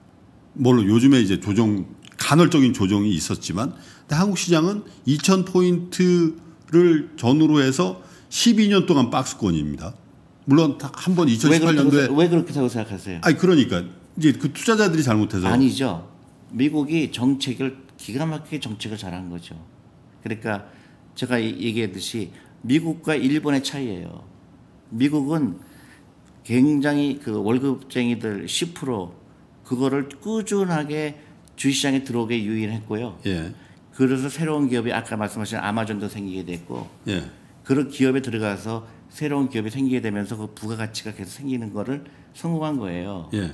한국은 한국 사람들이 주식 투자하나요? 지금 생각해 보세요. 40%가 외국인이 갖고 있어요. 근데 한국 사람 한국 주식 안 하잖아요. 아니, 제 질문은 그게 아니라 아니요. 그 현상인데 현- 그러면 그러니까 그, 그게 제도 개선이 기업이 안될 나빠서 그런 게 아니고 예. 제도가 잘못된 거고요. 그다음에 한국 사람한테 그런 그 그런 말을 들어볼 기회가 없었던 거예요. 그러면 이제 정치가 바뀌고 제도가 개선될 때까지는 한국 주식의 바이앤홀딩 전략은 맞지 않다라고 지금 말씀하시죠. 맞다. 아니요, 맞다. 근데 예를 네. 들어서 10년이라는 기간만 보면 안 된다는 거예요. 예를 들어서 네. 미국도 마찬가지로 어 2008년에 이게 생겼잖아요. 네. 2007년에 투자했다고 생각해 보세요. 뭐 엄청나게 손해 봤죠. 예. 그러니까 10년을 보느냐 15년을 보느냐 또, 또 다른 거고요. 근데 미국의 다우라는 건 몇 개 종목이죠? 30개 종목이에요. 예. 근데 미국 시장 다 전체적으로 보면은 엄청나게 많은 회사가 망했죠. 음. 안 보이는 거예요. 근데 한국의 코스피는 뭐죠? 2천 개 회사가 다 들어가 있는 거예요. 거기 망한 회사도 들어가 있고 뭐 은행도 들어가 있고 다 들어가 있는 거예요. 지수를 볼 게 아니다. 그렇죠. 어. 그러니까 그 apple to apple이 아니에요. 예. 미국의 다우나 S&P 500 헌지로드하고 코스피를 그러니까 코스피가 상당히 misleading 하는 거예요. 음. 어, 세상에 어느 주식시장도 망하는 기업이 있어요. 네. 또 올라가는 기업이 있고요. 예. 그거를 어, 그렇게 주식은 어, 공부해서 사야 되는 이유가 그런 거죠. 음. 근데 한국 주식은 단, 장기적으로 안 된다. 어, 미국 주식은 된다. 그거는 굉장히 지구적이 잘못된 생각이에요. 삼성전자를 샀으면요. 네. 이 대표님. 네 네. 이 대표님도 뭐 삼성 계열사의 자산운용사의 네. 펀드 매니저 하셨으니까 98년도에 만약에 그 네. 삼성전자 샀으면 지금 말했어요. 몇, 몇 배면 100배?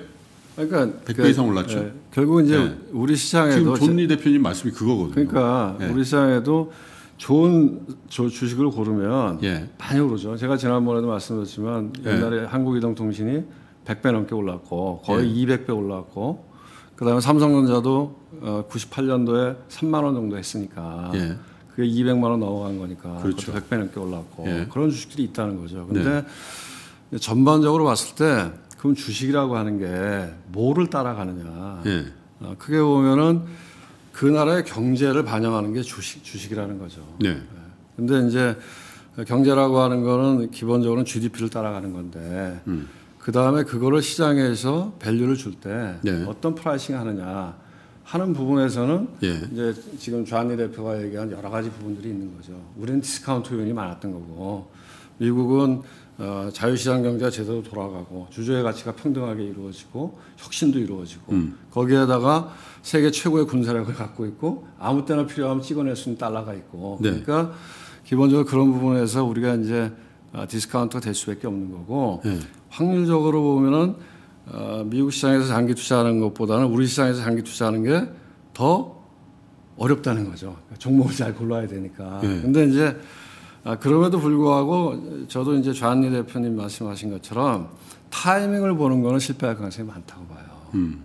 왜 그럼 장기 투자가 성공할 가능성이 많냐? 이제 장기 투자의 개념 중에 하나 제가 얘기했지만 수익이 날 때까지 안 판다. 왜냐하면 어, 우리가 타이밍이라고 하는 거는 되게 심리에 흔들리거든요. 아, 요즘 진짜 네. 왜냐하면 올라가면 더 올라갈 것 같고 맞아요. 떨어지면 겁이 나갖고 빨리 팔아야 되고 예. 그 왔다 갔다 하다 보면은 결국은 손해 나고 수익 나가는데 수익. 없죠. 예. 네. 그래서 근데 이제 그 주식은 기본적으로는 그 경제가 마이너스로 가지 않으면 예. 근데 세계 경제가 이런 위기 시기가 아니면 마이너스는 안 가잖아요. 그렇죠. 우리나라 경제도 마이너스 성장을 한 적은 거의 없잖아요. 우리 제 기억으로는 그 IMF 때 한 번 하고 2008년도에 1년도 아니고 한 분기? 예, 한 분기, 두 분기? 예. 정도 마이너스 하고는 계속 플러스 성장을 했거든요. 이번엔 난다는 거 아니에요, 마이너스? 이거는 마이너스죠. 그러면 주식도 결국 그 나라의 경제를 따라가기 때문에 결국 우상향한다는 거죠. 예. 변동은 있지만. 네. 그럼 장기 투자를 하면 내가 수익이 날 때까지 기다리면 네. 좋은 종목을 고르면 수익이 난다는 거죠. 예. 수익이 났을 때 실현하면은 확률이 훨씬 높다. 근데 확률 게임인데 고르기가 한국 시장이 훨씬 어렵다니까. 상대적으로 어렵다고. 그래서 제가 이제 왜 자꾸 이, 이, 이 주제에 천착하냐면요. 네. 지금 몇십만 명, 몇백만 명이 신규로 증권 시장에 들어와요. 네. 그러면 두 분이 저는 솔직해지기를 원하는 거예요. 왜냐하면 삼성전자 혹은 지금 삼성전자를 하다 보니까 지금 한 일주일 동안 수익률 보면요. 삼성전자가 제일 안 좋아요. 그렇잖아요. 단기적으로만 놓고 보면 어느 바이오 뭐 셀, 셀트리온 하루에 상한가 쳐버리고 막 그러잖아요. 그리고 뭐 교육 관련주 하루에 상한 그러니까 개인 투자자들이 아무리 무슨 존니 대표님이나 이창훈 대표님처럼 그렇게 경험도 없고 공부도 안 돼 있으니까 처음에는 삼성전자 사러 들어왔다가 옆에서 옆에 있는 옆에 자리에 김대리가 야 셀트리온 상한가 줘 그럼 글로 간단 말이에요. 그럴 만약에 그런 그런 시장의 본질이라면 차라리 작동하고 있는 미국 시장으로 가시라고 지금이라도 아니에요. 이렇게 말해주는 게 더 정답 아니에요. 아니에요? 저는 아니에요. 아니에요? 그러니까 아까 그 이천 대표께서 말씀하셨지만은 어, 과거 10년 동안 한국 주식은 사이드 라인이었고 미국 주식 올랐잖아요. 저는 미국 주식 훨씬 더 어려워요. 솔직히 비싸요. 아 진짜 이거 솔직하게 말씀해 주셔야 돼요. 그럼요. 근데 그리고 또 하나 내- 내가 그 왜 한국 주식이 연연하고 미국 주식이 연연하냐? 저는 그게 예를 들어서요. 내가 미국에 투자를 하느냐, 한국에 투자하느냐 이런 이슈가 아- 다르게 좀 생각을 해보세요. 예. 내가 투자하는 기업이 투자하고 싶은 기업이 예. 한국에 있냐, 미국에 있냐로 생각해 보세요. 시각이 달라져요. 예. 삼성전자가 한국에 있기 때문에 사는 게 아니에요. 네. 삼성전자가 좋아서 샀는데 한국에 있는 거죠. 마찬가지예요. 내가 아마존이라는 회사를 보니까 너무너무 막 exciting 한 거예요. 미국에 있는 거예요. 그래서 미국 주식이 사는 거예요. 그거를 미국이 좋냐 한국이 좋냐는 저는 그 그렇게 시각을 보시지 마시고 내가 한국에 투자하고 싶은 기업들이 많은지 음. 좀 너무 많은 거예요. 너무 싼 거예요. 한국 기업이. 예를 들어서 많은 기업들이요. 갖고 있는 현찰이 시가총액보다 높은 기업들이 굉장히 많아요. 그러니까 이거는 무지하게 싼 거예요. 현찰인데 뭐 은행에 맡기면 이자도 안 주는 그 무수익 자산으로 갖고 있는 데들도 많다. 그런 그런 비판도 아니 많습니다. 그런 게 아니라 이게 회사는 제대로 잘 돌아가는데도 예. 불구하고 어, 지금 시- 시장이 굉장히 한국 시장이 이피션트하지 않은 시장이에요. 예. 그러니까 왜냐하면 기관 투자가들이 많지가 않고 또 그 개인들이 비중이 높고 그래서. 기회가 예. 많다. 그래서 저는 어 만약에 내가 1억이 있다. 음. 그래서 내가 내 자산을 그 하겠다 그러면 저는 한국 주식은 굉장히 어 굉장히 탐나는 주식이 많죠. 특히 요새. 음. 예. 근데 뭐 그거는 자기의 개인 성향이고요. 네. 뭐 미국 주식이 더 유리하다. 아, 저한테 질문이 굉장히 많이 와요. 미국의 ETF가 좋은 거 아니냐? 그럴 것 같아요. 왜냐면 네. 미국에서 뭐 아니요. 근데 예. 저는 그렇게 일방적으로 얘기할 게 아니에요.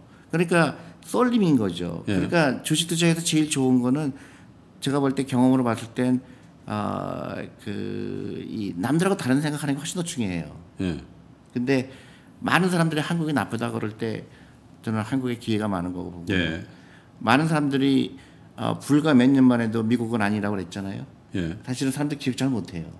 12년 미국은- 전에 그랬죠. 네, 미국은 끝났다 그랬어요. 더, 더 거슬러 올라갈까요?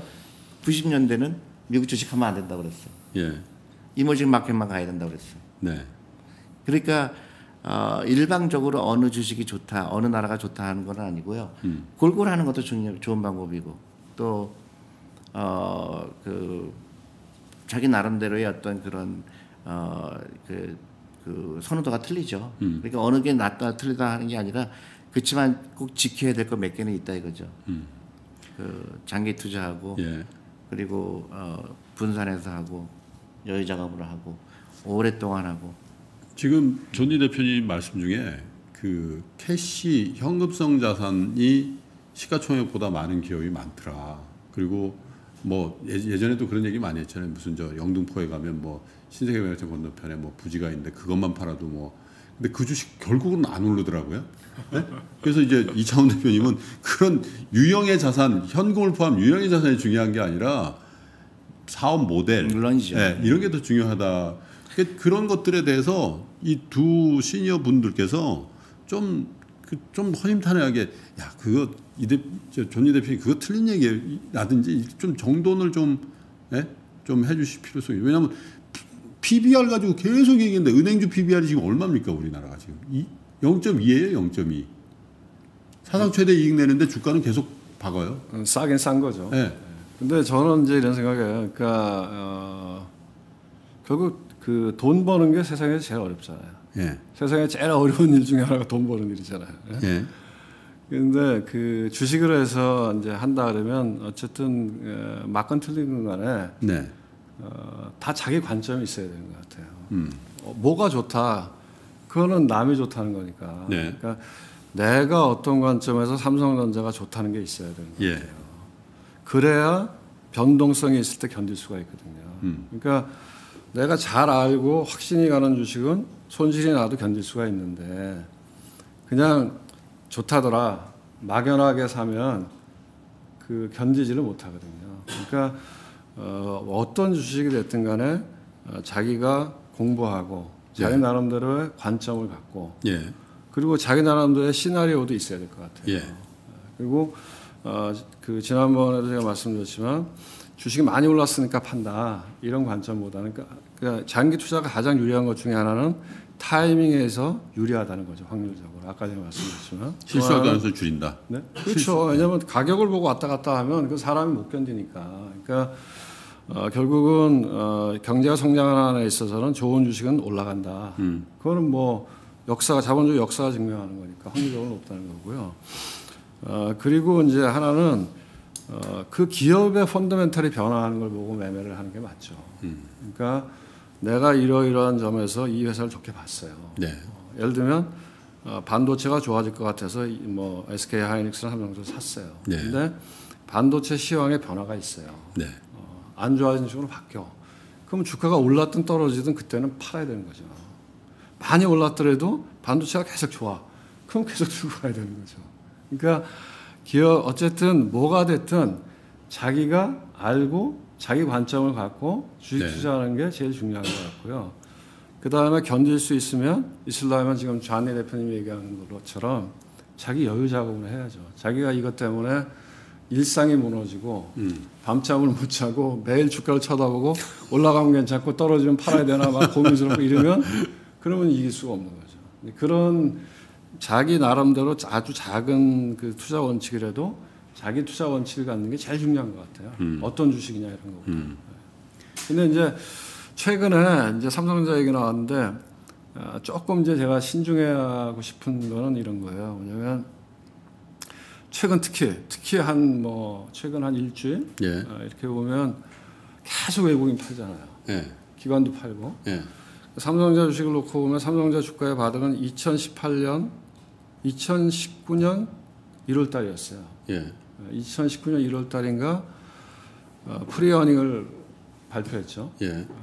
보통 아마 이번 주인가 다음 주 초 되면 또 삼성전자 삼성전자 일분기 실적 나오죠. 나오죠. 네, 근데 그때가 삼성전자 실적이 뭐 어마어마하게 나쁘게 나왔거든요. 그 하루에 주가가 폭락했다가 반등했어요.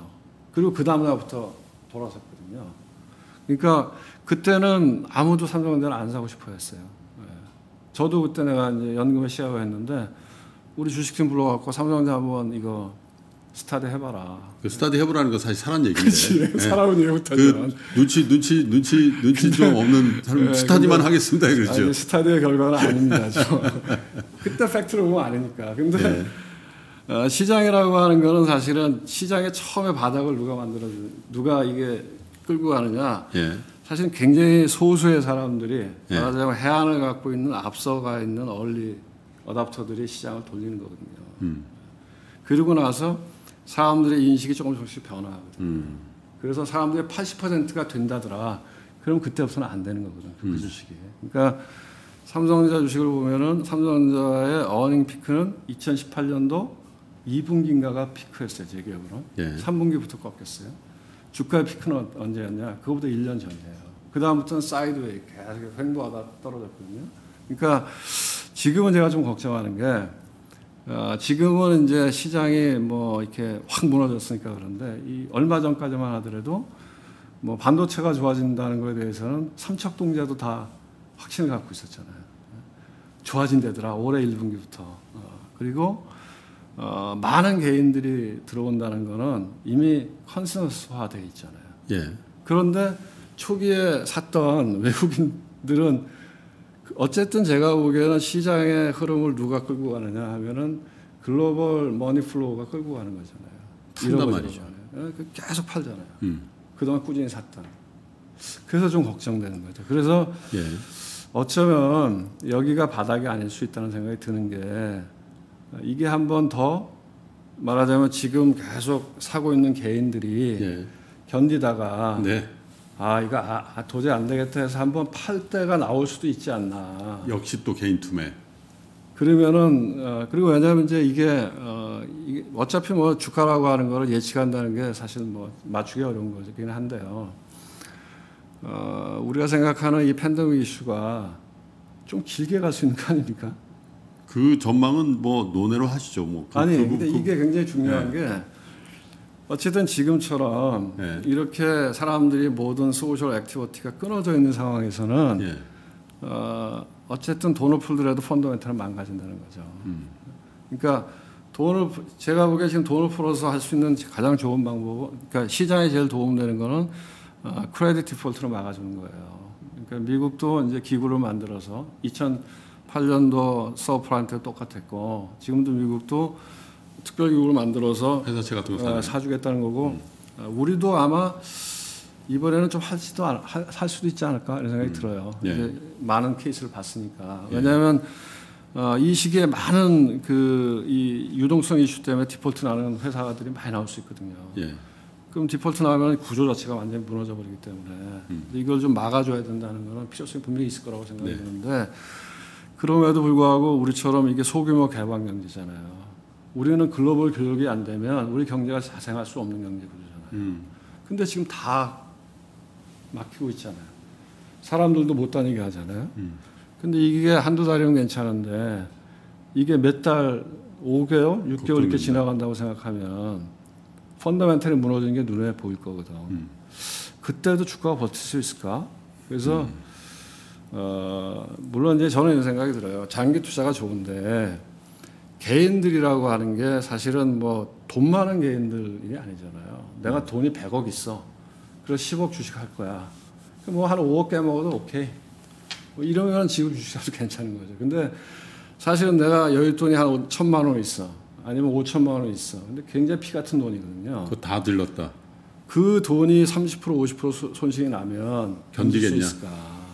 그래서 조금은 신중하게 가는 게 저는 그이 권고드리고 싶고 그 다음에 누구도 어디가 바닥인지는 정확하게 맞출 수가 없죠. 음. 그래서 우리가 분할 매매하라 그러잖아요. 아까 이제 조한희 대표님도 얘기했지만 분산 투자하라 얘기하는 게 분산 투자 개념은 종목의 분산 투자도 있지만 시기의 분산. 시기의 분산 투자도 되게 중요하다는 거죠. 내가 견딜 수 있어야 되니까 예. 다못 먹어도 괜찮다는 거죠. 나눠서 이번에 좀 들어가고 네. 뭐 오르면 좀 기다리고 만약에 더 무너지면 또 한 번 들어가고 이런 것도 어, 통상 보면 우리가 어, 이 이 이 꽃 이 이 아름다운 꽃은 늘 사람이 가는 길에 있지 않고 뒤안길에 있다 그러잖아요. 사람이 많이 다니는 길에는 밟혀 죽어버리잖아요. 잡초가 되죠. 이렇게 막 러시하는 거는 좀 네. 조금 그렇지 않나 저 조니 대표님 어떻습니까? 조니 대표님은 이 팬더빙이 이런 거 별로 관심 없으시죠? 아우 관심이 없어요. 아니 근데 뭐 그런 거 그런 거에 연연하지 말고 좋은 기업만 들고 있으면 아, 된다고 그러니까요, 하니까 투자의 관점에서 투자의 관점에서는 예. 그러니까 어 맞아요. 이 항상 위기가 오면 예. 그 과거에도 뭐 블랙 먼데이도 봤고 뭐 IMF 뭐 여러 가지 위기가 많이 오잖아요. 네. 근데 공통적인 거는 뭐냐면 다 회복이 된다. 음. 그거에 100% 회복이 됐고 음. 주가는 더 올랐다 과거에보다 그거는 저는 그걸 믿어요. 네. 근데 이제 그 항상 다른 모습으로 오죠 위기가. 그러니까 어 뭐 유동성 위기가 와서 그럴 수도 있고 아니면 fundamental 이슈가 있어서 그럴 수도 있고 미국 예. 같은 경우는 그런 어떤 금융기관의 corporate governance 이슈거든요. 그 리만 사태는 그런 아 여러 가지 그 우리가 생각하지 못한 면에서 그런 거기서 또 이제 터지게 되고 그것 때문에 위기가 오는 건데 이번에 이제 어, 이번에 이슈는 경제 외적인 이슈거든요. 바이러스거든요. 네, 네. 그래서 실물 경기로 올라가는 거니까 사람들이 굉장히 불안하죠. 하- 경험 안 해봤던 거거든요. 음.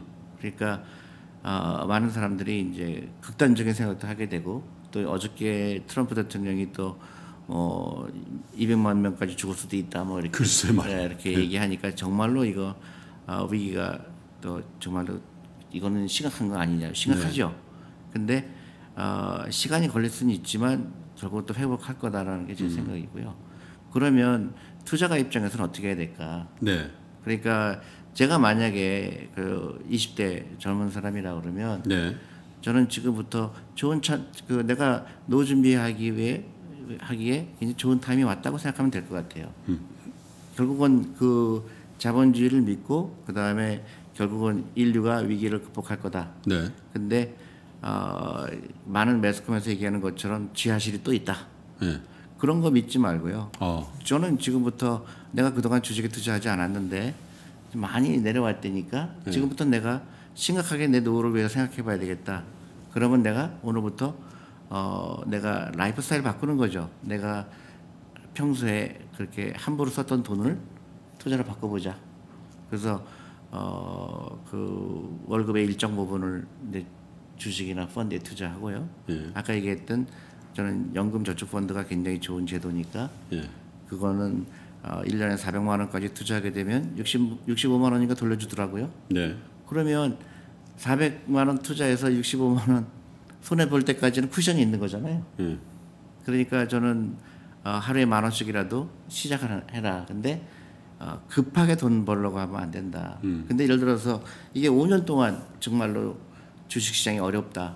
그렇지만 내가 그러니까 인베스먼트 호라이즌이라고 그러죠. 내가 투자 기간이 만약에 20년인 사람한테는 굉장히 좋은 기회죠. 근데 예를 들어서 내 투자 기간이 1년인 사람은 잠을 못 자는 거죠.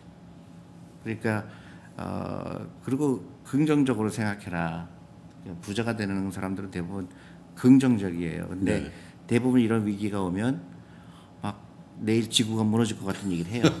그래요. 예, 그래서 사람들은 어, 과대로 반응하게 되고 주식시장도 과대로 반영하게 되고 네. 야 옛날에 위기는 극복했지만 이번에는 안 될 거야. 이번엔 다를 것이다. 예, 그런 거는 어, 그렇지 않다고 봐요. 음. 근데 그게 이제 옛날엔 뭐 1년 걸렸고 음. 어떤 거는 6개월 걸렸고 어떤 건 3년 걸렸고 했겠지만은 네.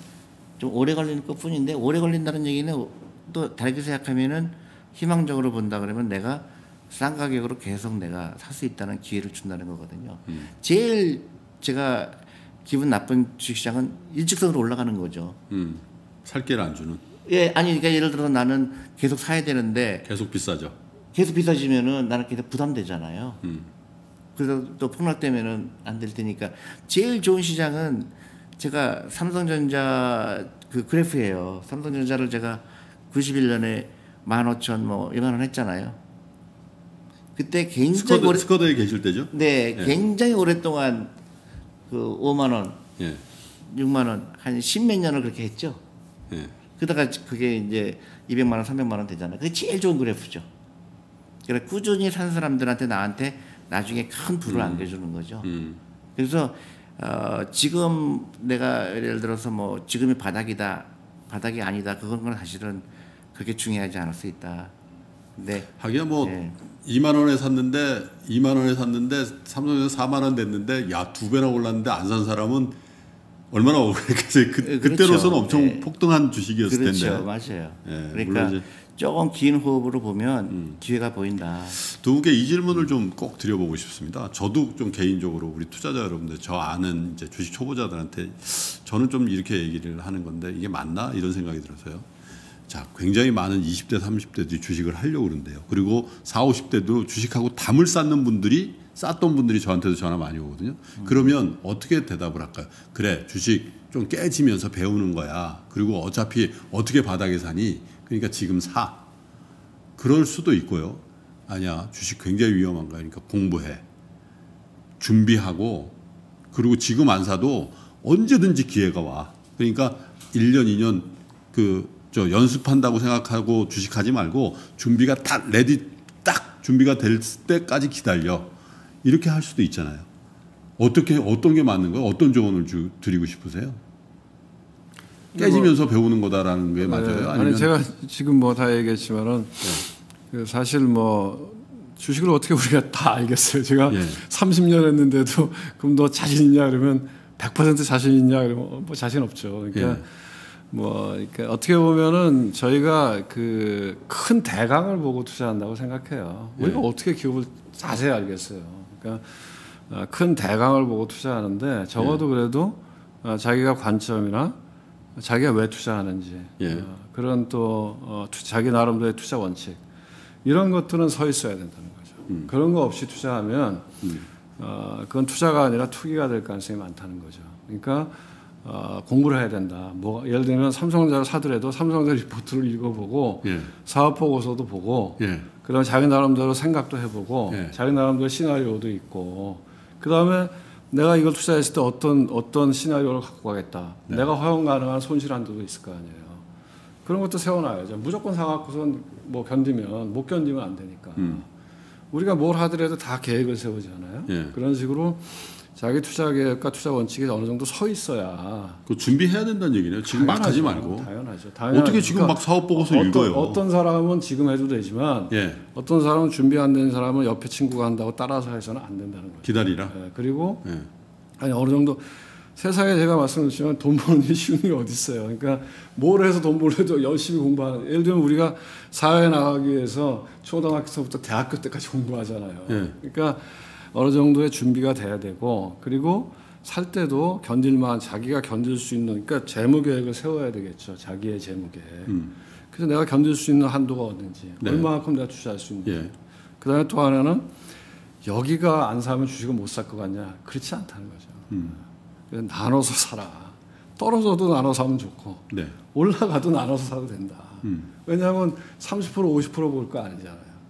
더 길게 본다고 생각하면 음. 그런 얘기를 좀 드리고 싶고 네. 그다음에 자기가 봤던 관점, 자기가 봤던 기업의 펀더멘탈, 또 자기가 봤던 투자 원칙에 거기에서 다시 점검해보고 아니면 그때 팔고 음. 시세가 올랐다고 파는 건 아닌 것 같다. 시세가 빠졌다고 파는 것도 아닌 것 같고 네. 네, 그런 거를 좀 근데 조언드리고 싶어요. 존리 대표님 다른 생각이신 것 같아요. 왜냐하면 초등학교 때부터 주식 하라 그러니까. 저는요. 초등학교 뭐가 준비가 됐겠어요? 당장 시작해라. 당장 시작. 이두 분은 진짜 모든 면에서 다른 분들입니다. 모든 면 다르진 않죠. 제가 볼 때. 아, 아니야, 네. 내가 보니까 다 달라. 아니 아니에요. 자, 그- 당장 그- 시작. 아, 네, 네 저는 어, 공부하는 걸 아까 말씀하셨지만 초등학교 때부터 대학까지 공부하잖아요. 예. 그러면 공부가 언제 끝나면 박사학위 한 다음에 할 거예요? 제가 볼 때는 가, 가장 좋은 타임은 right now라고 그래요. Right now. Right now. 그러니까 무조건 시작해라. 아니 이제 봉기하라라고 들리는데. 아, 그러니까 아니에요. 네, 무조건 시작을 해야 되는 거고요. 예. 많은 사람들이 액션을 못 해요. 네.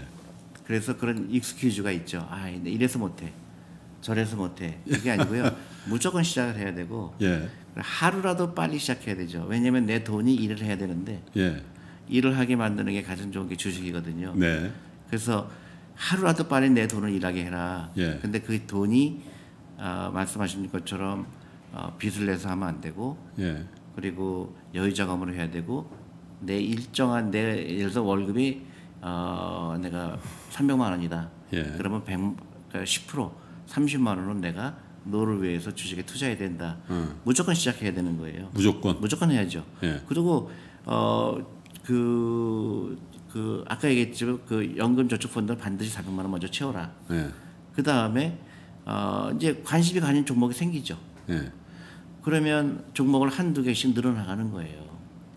예를 들어서 어, 어떤 주식에 관심이 가는 거죠. 음. 그러면 예를 들어서 남이 사니까 사는 게 아니라 예. 내가 어 저 기업에 굉장히 관심이 있는데 예. 이제 아까 말씀 영업 보고서 읽어보고 그다음에 그 매니지먼트 그러니까 그 경영진이 어떤 사람들인지 예. 너무 재밌죠. 그렇게 재미있는 게 아니라 어려워요. 아니죠. 재밌어요. 대표님 어렵다니까. 아니에요. 어려, 근데 요새 그 영업 보고서, 사업 보고서는 그렇게 안 어렵던데. 아니에요. 자기가 두 분은 아니에요. 그게 아니라 많은 사람들이 이 금융에 대해서 두려움이 있어요. 예. 나는 모를 거야. 전문가가 더 많이 할 거야. 예. 전문가가 훨씬 더 모르는 경우가 훨씬 더 많아요. 제가 솔직히 얘기해서 예. 전문가라고 얘기할 수가 없는 거예요. 투자는 상식이에요. 예. 기업에 투자하는 거고 내가 동업하는 거기 때문에 지극히 상식적인 거예요. 네. 그래서 개인 투자가가 저보다 훨씬 더 잘할 확률이 높아, 높아요. 예. 근데 훈련이 안 되는 것 뿐이에요. 음. 기다릴 수 없는 훌, 그 훈련. 그 다음에 단기간에 주식의 하락에 대해서 여유로울 수 있는 그런 훈련이 필요한 거죠. 근데 실제로 그래서 투자하는 거는 아. 재미가 있는 거예요. 종이 돈으로는 훈련 안 된다. 그렇죠. 예. 아니 그리고 이거 주식에 진짜 real real money로 해야 된다. 그리고 아니 그리고 주식이라는 거는요 종이를 사는 게 아니에요. 예. 내가 오늘 예를 들어서 A라는 주식을 샀으면 예. 내가 굉장히 익사이링한 거예요. 음. 내가 이제 이 회사 한 주가 됐지만 내일 내가 돈을 모아서 한 주를 더 사면 두 주가 되고 예. 세 주가 되고 백 주가 되면데 어또 1년마다 또 그 회사가 나한테 돈을 줘요. 또 배당을 줘요. 예. 그게 이제 2년, 3년, 4년 쌓이다 보면 내 부가 늘어나는 거를 경험하죠. 네. 그런데 주식 시장은 변화가 와요. 그 변동성. 근데 내가 알 수가 없어요. 음. 근데 내가 열 주를 갖고 있다, 백 주를 갖고 있다. 네. 그게 중요한 거예요. 예. 이 백주가 나중에는 그 큰 나의 자산을 불러줄 거다. 음. 그런 자본주의 믿음인 거죠. 그러니까 주위에서 얘기하는 거를 귀를 막을 필요가 있어요. 음. 자꾸 부정적인 얘기하는 거 주식은 안 돼. 예를 들어서 한국은 아니야. 뭐 미국만이야. 한국은 뭐 엉터리가 많아. 계속 배- 부정적인 뉴스가 나와요. 한국은. 근데 저는 그런 부정적인 뉴스가 나오기 때문에 주식 가격이 싸다고 생각을 해요. 음. 그래서 조금 더 장기적으로 보는 사람한테는 이런 기회가 사실은 굉장히 좋은 기회가 왔다고 생각하는 거죠. 좋은 기회고 right now 지금 당장 Right 시작하라. now예요. 당장 주식 사라. 투자하기 제일 좋은 타이밍은 right now고요. 예. 제일 좋은 건 태어나자부터죠. 왜냐하면 그 변동성을 이길 수가 있잖아요. 아니요, 그게 굉장히 중요한 거거든요. 제가 얘기하는 게 그래서 제가 그 전국의 산후조리원을 전화를 다 했어요. 산후조리원 네. 지금 시작하라고. 어, 애들 계좌 열어주라고. 예. 그러면 그 아이는 엄청난 축복이다. 주식을 투자하거나 펀드 투자해서 걔가 그 아이가 서른 살 때까지 30년을 투자하면은 엄청난 부가 생기죠. 그거는 당연한 거예요 자본주의 사회에서는. 네. 근데 그 일주일 한 달에 주가에 그렇게 연연하지 말아라. 근데요 사실은 너무 재미난 게 저희한테 전화 오는 사람들 대부분이 어떤 분들인지 아세요? 아이들 계좌 열어주겠다는 사람들이에요. 엄청나게 연락이 와요. 그래서 저는 그게 동학 동학혁명이다. 우리나라가 일본하고 정반대의 길을 갈 수 있는 저의 찬스다. 음. 일본은 유일하게 투자하는 데가 부동산하고 은행 예금 아니면 채권 국채였잖아요. 음. 그래서 저 그래서 저렇게 어, 창의적인 기업이 나오지 못하고 있고 계속 그 경기는 하, 하강하고 있고 네. 한국은 한국의 모델은 어디냐? 한국의 갈 길은 일본하고 반대로 가야 된다. 저는 그게 진짜 중요한 거고요. 모든 국민이 주식에 대한 얘기를 해야 돼요. 부모도 자식하고 주식 얘기를 해야 되는 거죠. 미국에 가면 유태인들은 다 부모하고 자식하고 주식 얘기를 해요. 저도 우리 아이들하고 주식 얘기 합니다. 네.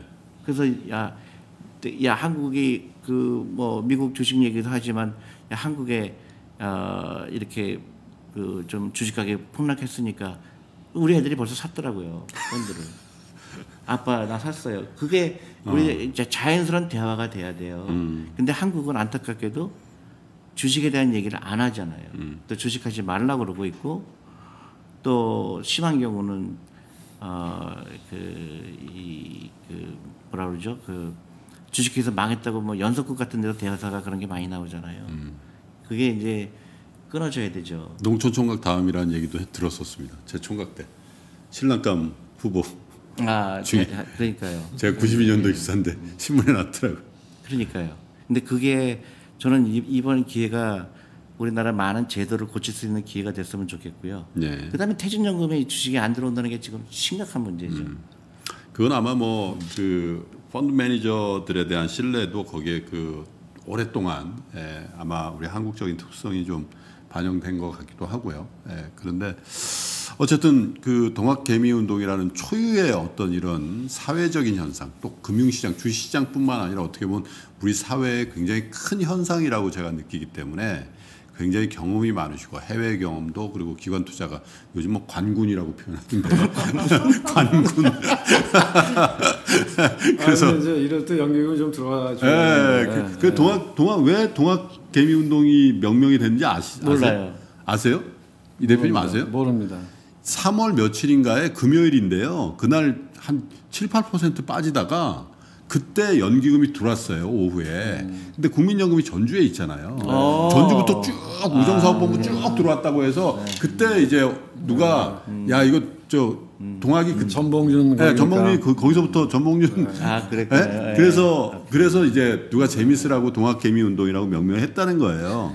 근데 어쨌든 저는 그 동기는 어떻게 됐는지 시작은 어떻게 됐는지 그것도 중요하지만 진짜 네. 중요한 거는 어, 이런 위기를 통해서 한국이 업그레이드 될 수 있는 찬스를 만들었으면 찬스다? 좋겠어요. 어. 그래서 어, 주식에 대한 그 인식도 다르게 해야 되고 그래요. 그다음에 제도를 바꿔야 되고요.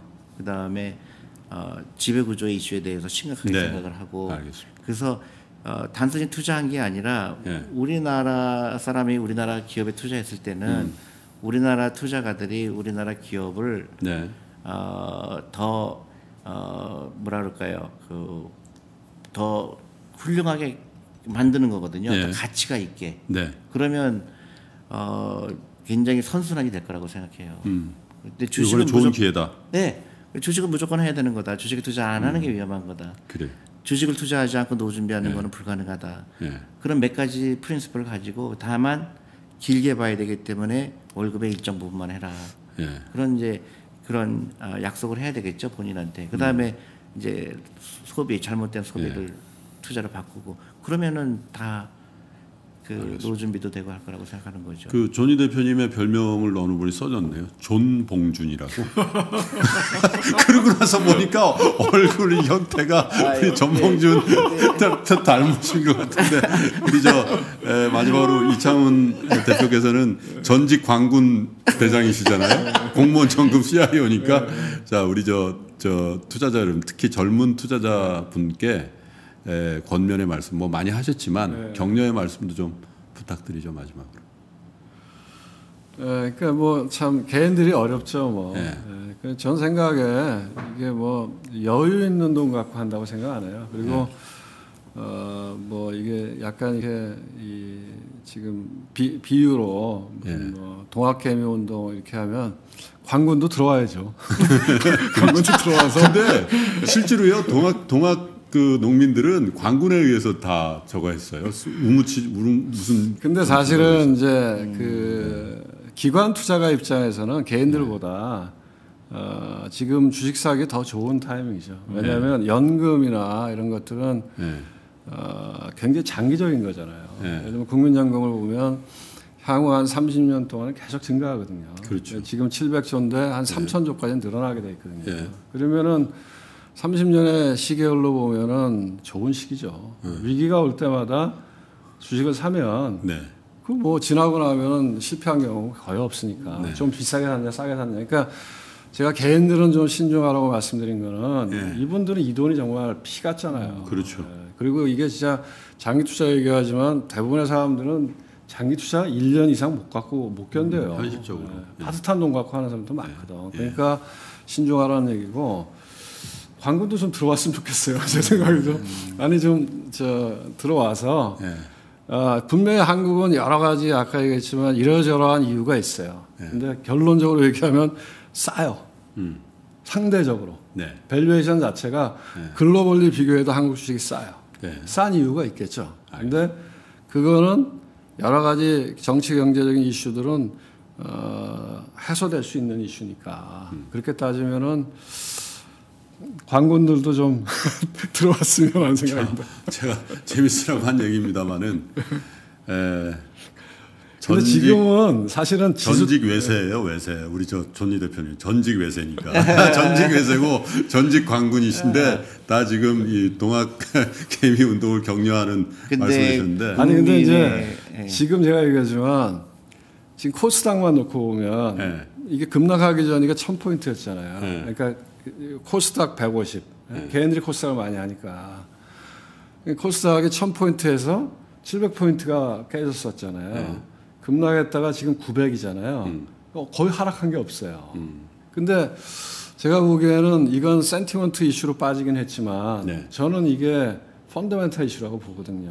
음. 이게 팬데믹인데 결국은 해결되겠죠. 근데 생각보다는 이게 펀더멘탈에 상당한 임팩트가 있을 거라고 계속해서 좀 생각해서 조심하라는 입장이세요. 조심하는 게 라인 나오는 아니다. 개인들은. 개인들은 라인 나오는 아니다. 아니 과- 광고는 30년 뒤를 보고 돈도 많으니까 아 이거는 뭐저 이 대표님 아시는 광고들 많으니까 일일이 전화하세요. 지금 좀좀 들어오라고. 아니, 제발. 근데 근데 제가 지난번에 얘기했지만 네.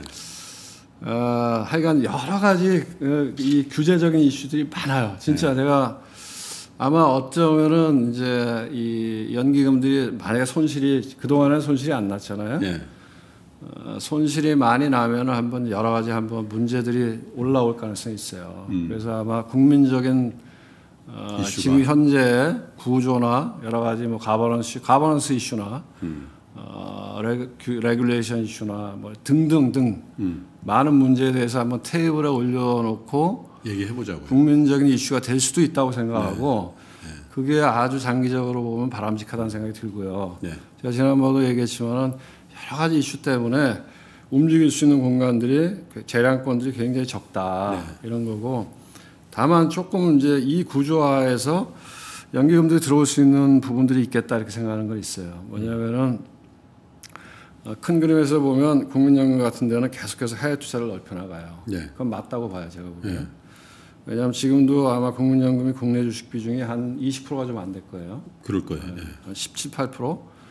근데 글로벌 보면 우리나라의 주식시장의 시가총액이 2%가 안 되거든요. 예. 어, 그러면은 어, 훨씬 더 해외 투자를 많이 늘려나가야 되고 어, 우리가 예를 들어서 어, 국내 투자를 많이 했다가 나중에 이거를 찾아야 되는 시기가 오면 어마어마한 재앙일 거거든. 그렇기 때문에 해외 투자를 늘려나가는 건 맞는데 어, 국민연금 같은 경우에도 이 전략적 비중이라는 게 있어요. 어, 국내 주식은 이 정도 한다. 거기에 플러스 마이너스 일정 부분이 전수 택티컬한 이 얼라우언스인데 네. 어, 다른 자산보다 주가가 많이 빠졌기 때문에 아마 전략적 비중이 밑으로 내려갔을 거예요. 지금 주식 비중이 가격이 빠져서 음. 살수 있는 룸이 생긴 거죠. 음, 그렇겠네요.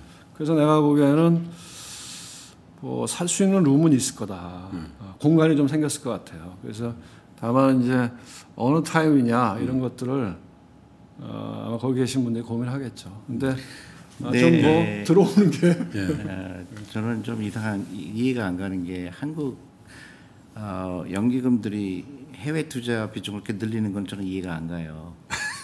왜냐하면 어, 예를 들어서 내가 홍콩에 만약에 펀드 매니저라 그러면 홍콩 기업은 별로 없어요. 투자 기업이 부동산 백0개 네. 그래서 해외 투자하는 게 맞아요. 예. 싱가포르 연기금이면 싱가포르에 투자 기업이 많지 않거든요. 예. 그래서 해외 투자하는 게 맞는데 예. 어, 제가 동의할 수 없는 부분이 그런 거예요. 한국의 연기금들이 어, 예를 들어서 가장 그 논리가 그런 거거든요. 그 어, 한국의 기업에 너무 많이 투자가 됐을 때 나중에 이제 돈을 돌려주고 국민들한테 돈을 줄 때 유동성 위기가 올 것 같다. 음.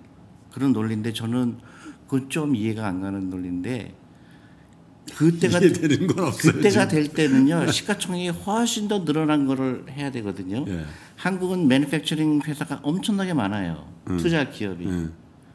근데 한국 연기금들이 해외에 투자하는 게 또- 도저히 이해가 안 가요. 네. 저스티파이가 안 돼요. 예. 한국 기업이 싼다 싸면서도 한국 기업을 안 사고 미국 기업을 사겠다. 한국 기업을 사서 한국 기업의 cost of capital을 낮춰주고 한국 기업이 성장하게 해야 되는 게 연기금이 할 역할 중에 하나거든요. 예. 근데 그 이 수익성만 보는 거예요. 근데 수익성은 나지도 않아요, 사실은. 그러니까 아까 한국 기업이 한국의 주, 주, 주 가 지수가 그 sideline 됐다 이렇게 그랬다. 그건 기관 투자가의 책임이 커요. 외국 산 거예요. 한국 거 안 산 거예요. 그래서 한국 기업을 더 싸게 만들었고 그것 때문에 개인 투자가도 주식 투자를 멀어지게 됐고 그게 결정적인 이유죠. 그러니까 한국도 이제는 연기금이 한국 주식을 사야 되고요.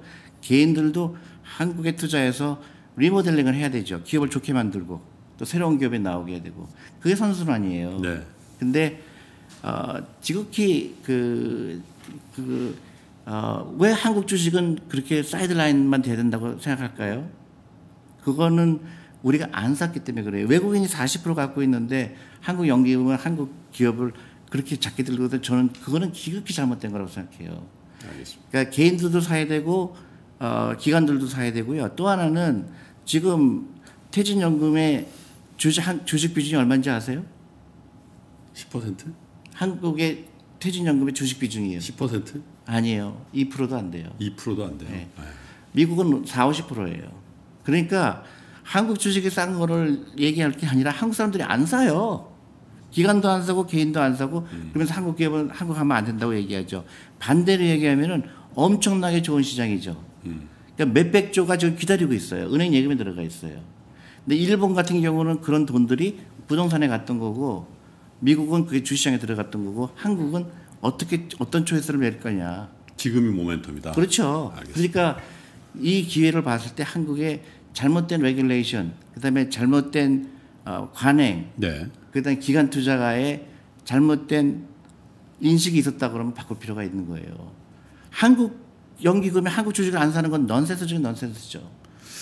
자, 아, 뭐 저 생각으로는 뭐 밤을 새도 될 것 같은데 오늘은 요 정도 했으면 좋겠습니다. 왜냐면 이 대표님이나 존이 대표님 다 저녁 전이시고 저도 그렇고 좀 있으면 제가 서 아, 목요일이라서 저는 저녁을 먹었습니다. 드셨어요? 네, 뭐 7시 오르면서 저녁을 안 먹었어요. 그래서 저는 이제 방송을 계속 했어야 되기 때문에 KBS에 가야 될 일도 있고 또 우리 PD님도 PD 분도 또 정리를 해야 돼서 제가 제안을 하나 하죠. 뭐 이 청취자들이 지금도 만 분이 훨씬 더 넘게 지금 채팅창에 만. 분이요? 네. 아까 처음에 시작은 2만 명 가까이 했어요. 근데 지금 다 식사- 동학, 개미들이에요. 모르겠어요. 근데 네, 어, 예, 그래요. 어쨌든 지금 현재 만 900명 가까이 계신데 에, 뭐 매주는 안 될 것 같고요. 한 달에 한 번, 한 두 달에 한 번 정도 두 분을 모시고 우리 한국의 주식시장과 자본시장 혹은 경제에 대해서 그냥 시니어 레벨에서 그냥 저, 저를 포함해서 그냥 이것저것 난상 토론도 한번 해보고 그래요. 그리고 거기서. 나오는 거 가지고 우리 젊은 분들에게 아 이게 솔루션인 것 같은데 한번 참고하세요. 음. 이런 얘기도 하고 어떠십니까 두 분? 생각해 보겠습니다. 이 대표님, 아, 저 좋습니다. 네, 네. 좋다 하시는데요. 네, 생각해 보겠습니다. 저는 원래 신중한 편이니까. 자, 여러분 어떻게 보셨습니까? 뭐 사실은 에, 격의없게 진행을 하다 보니까 저, 저 사회자로서 안 써야 될 용어도 좀 쓴 것 같고 어쩔 때는 부추긴 그 발언도 한 것 같은데 에, 오랜만에 참 에, 격이 없는 대화를 했다 이런 생각도 들고 에, 양 옆에 계신 분들의 의견들이 다 달랐던 것 같아요. 굉장히 큰 평행선을 느꼈음에도 불구하고 한 가지 제가 진정성을 느끼는 거는 아, 이번만큼은 우리 투자자 여러분들이 정말 안 다쳤으면 좋겠다. 그리고 오래 하셨으면 좋겠다. 이 마음을 두 분 다 다른 언어로 표현하시지 않았나. 저를 포함해서 에, 그런 생각을 하게 됩니다. 여러분들 잘 하셔야 됩니다. 그리고 잘 하실 수 있도록 두 분과 함께 그리고 저도 에, 3프로 TV와 함께 그리고 신과 함께와 함께 여러분 에, 편에서 에, 도와드리도록 그렇게 해보겠습니다. 같이 한번 해보시죠.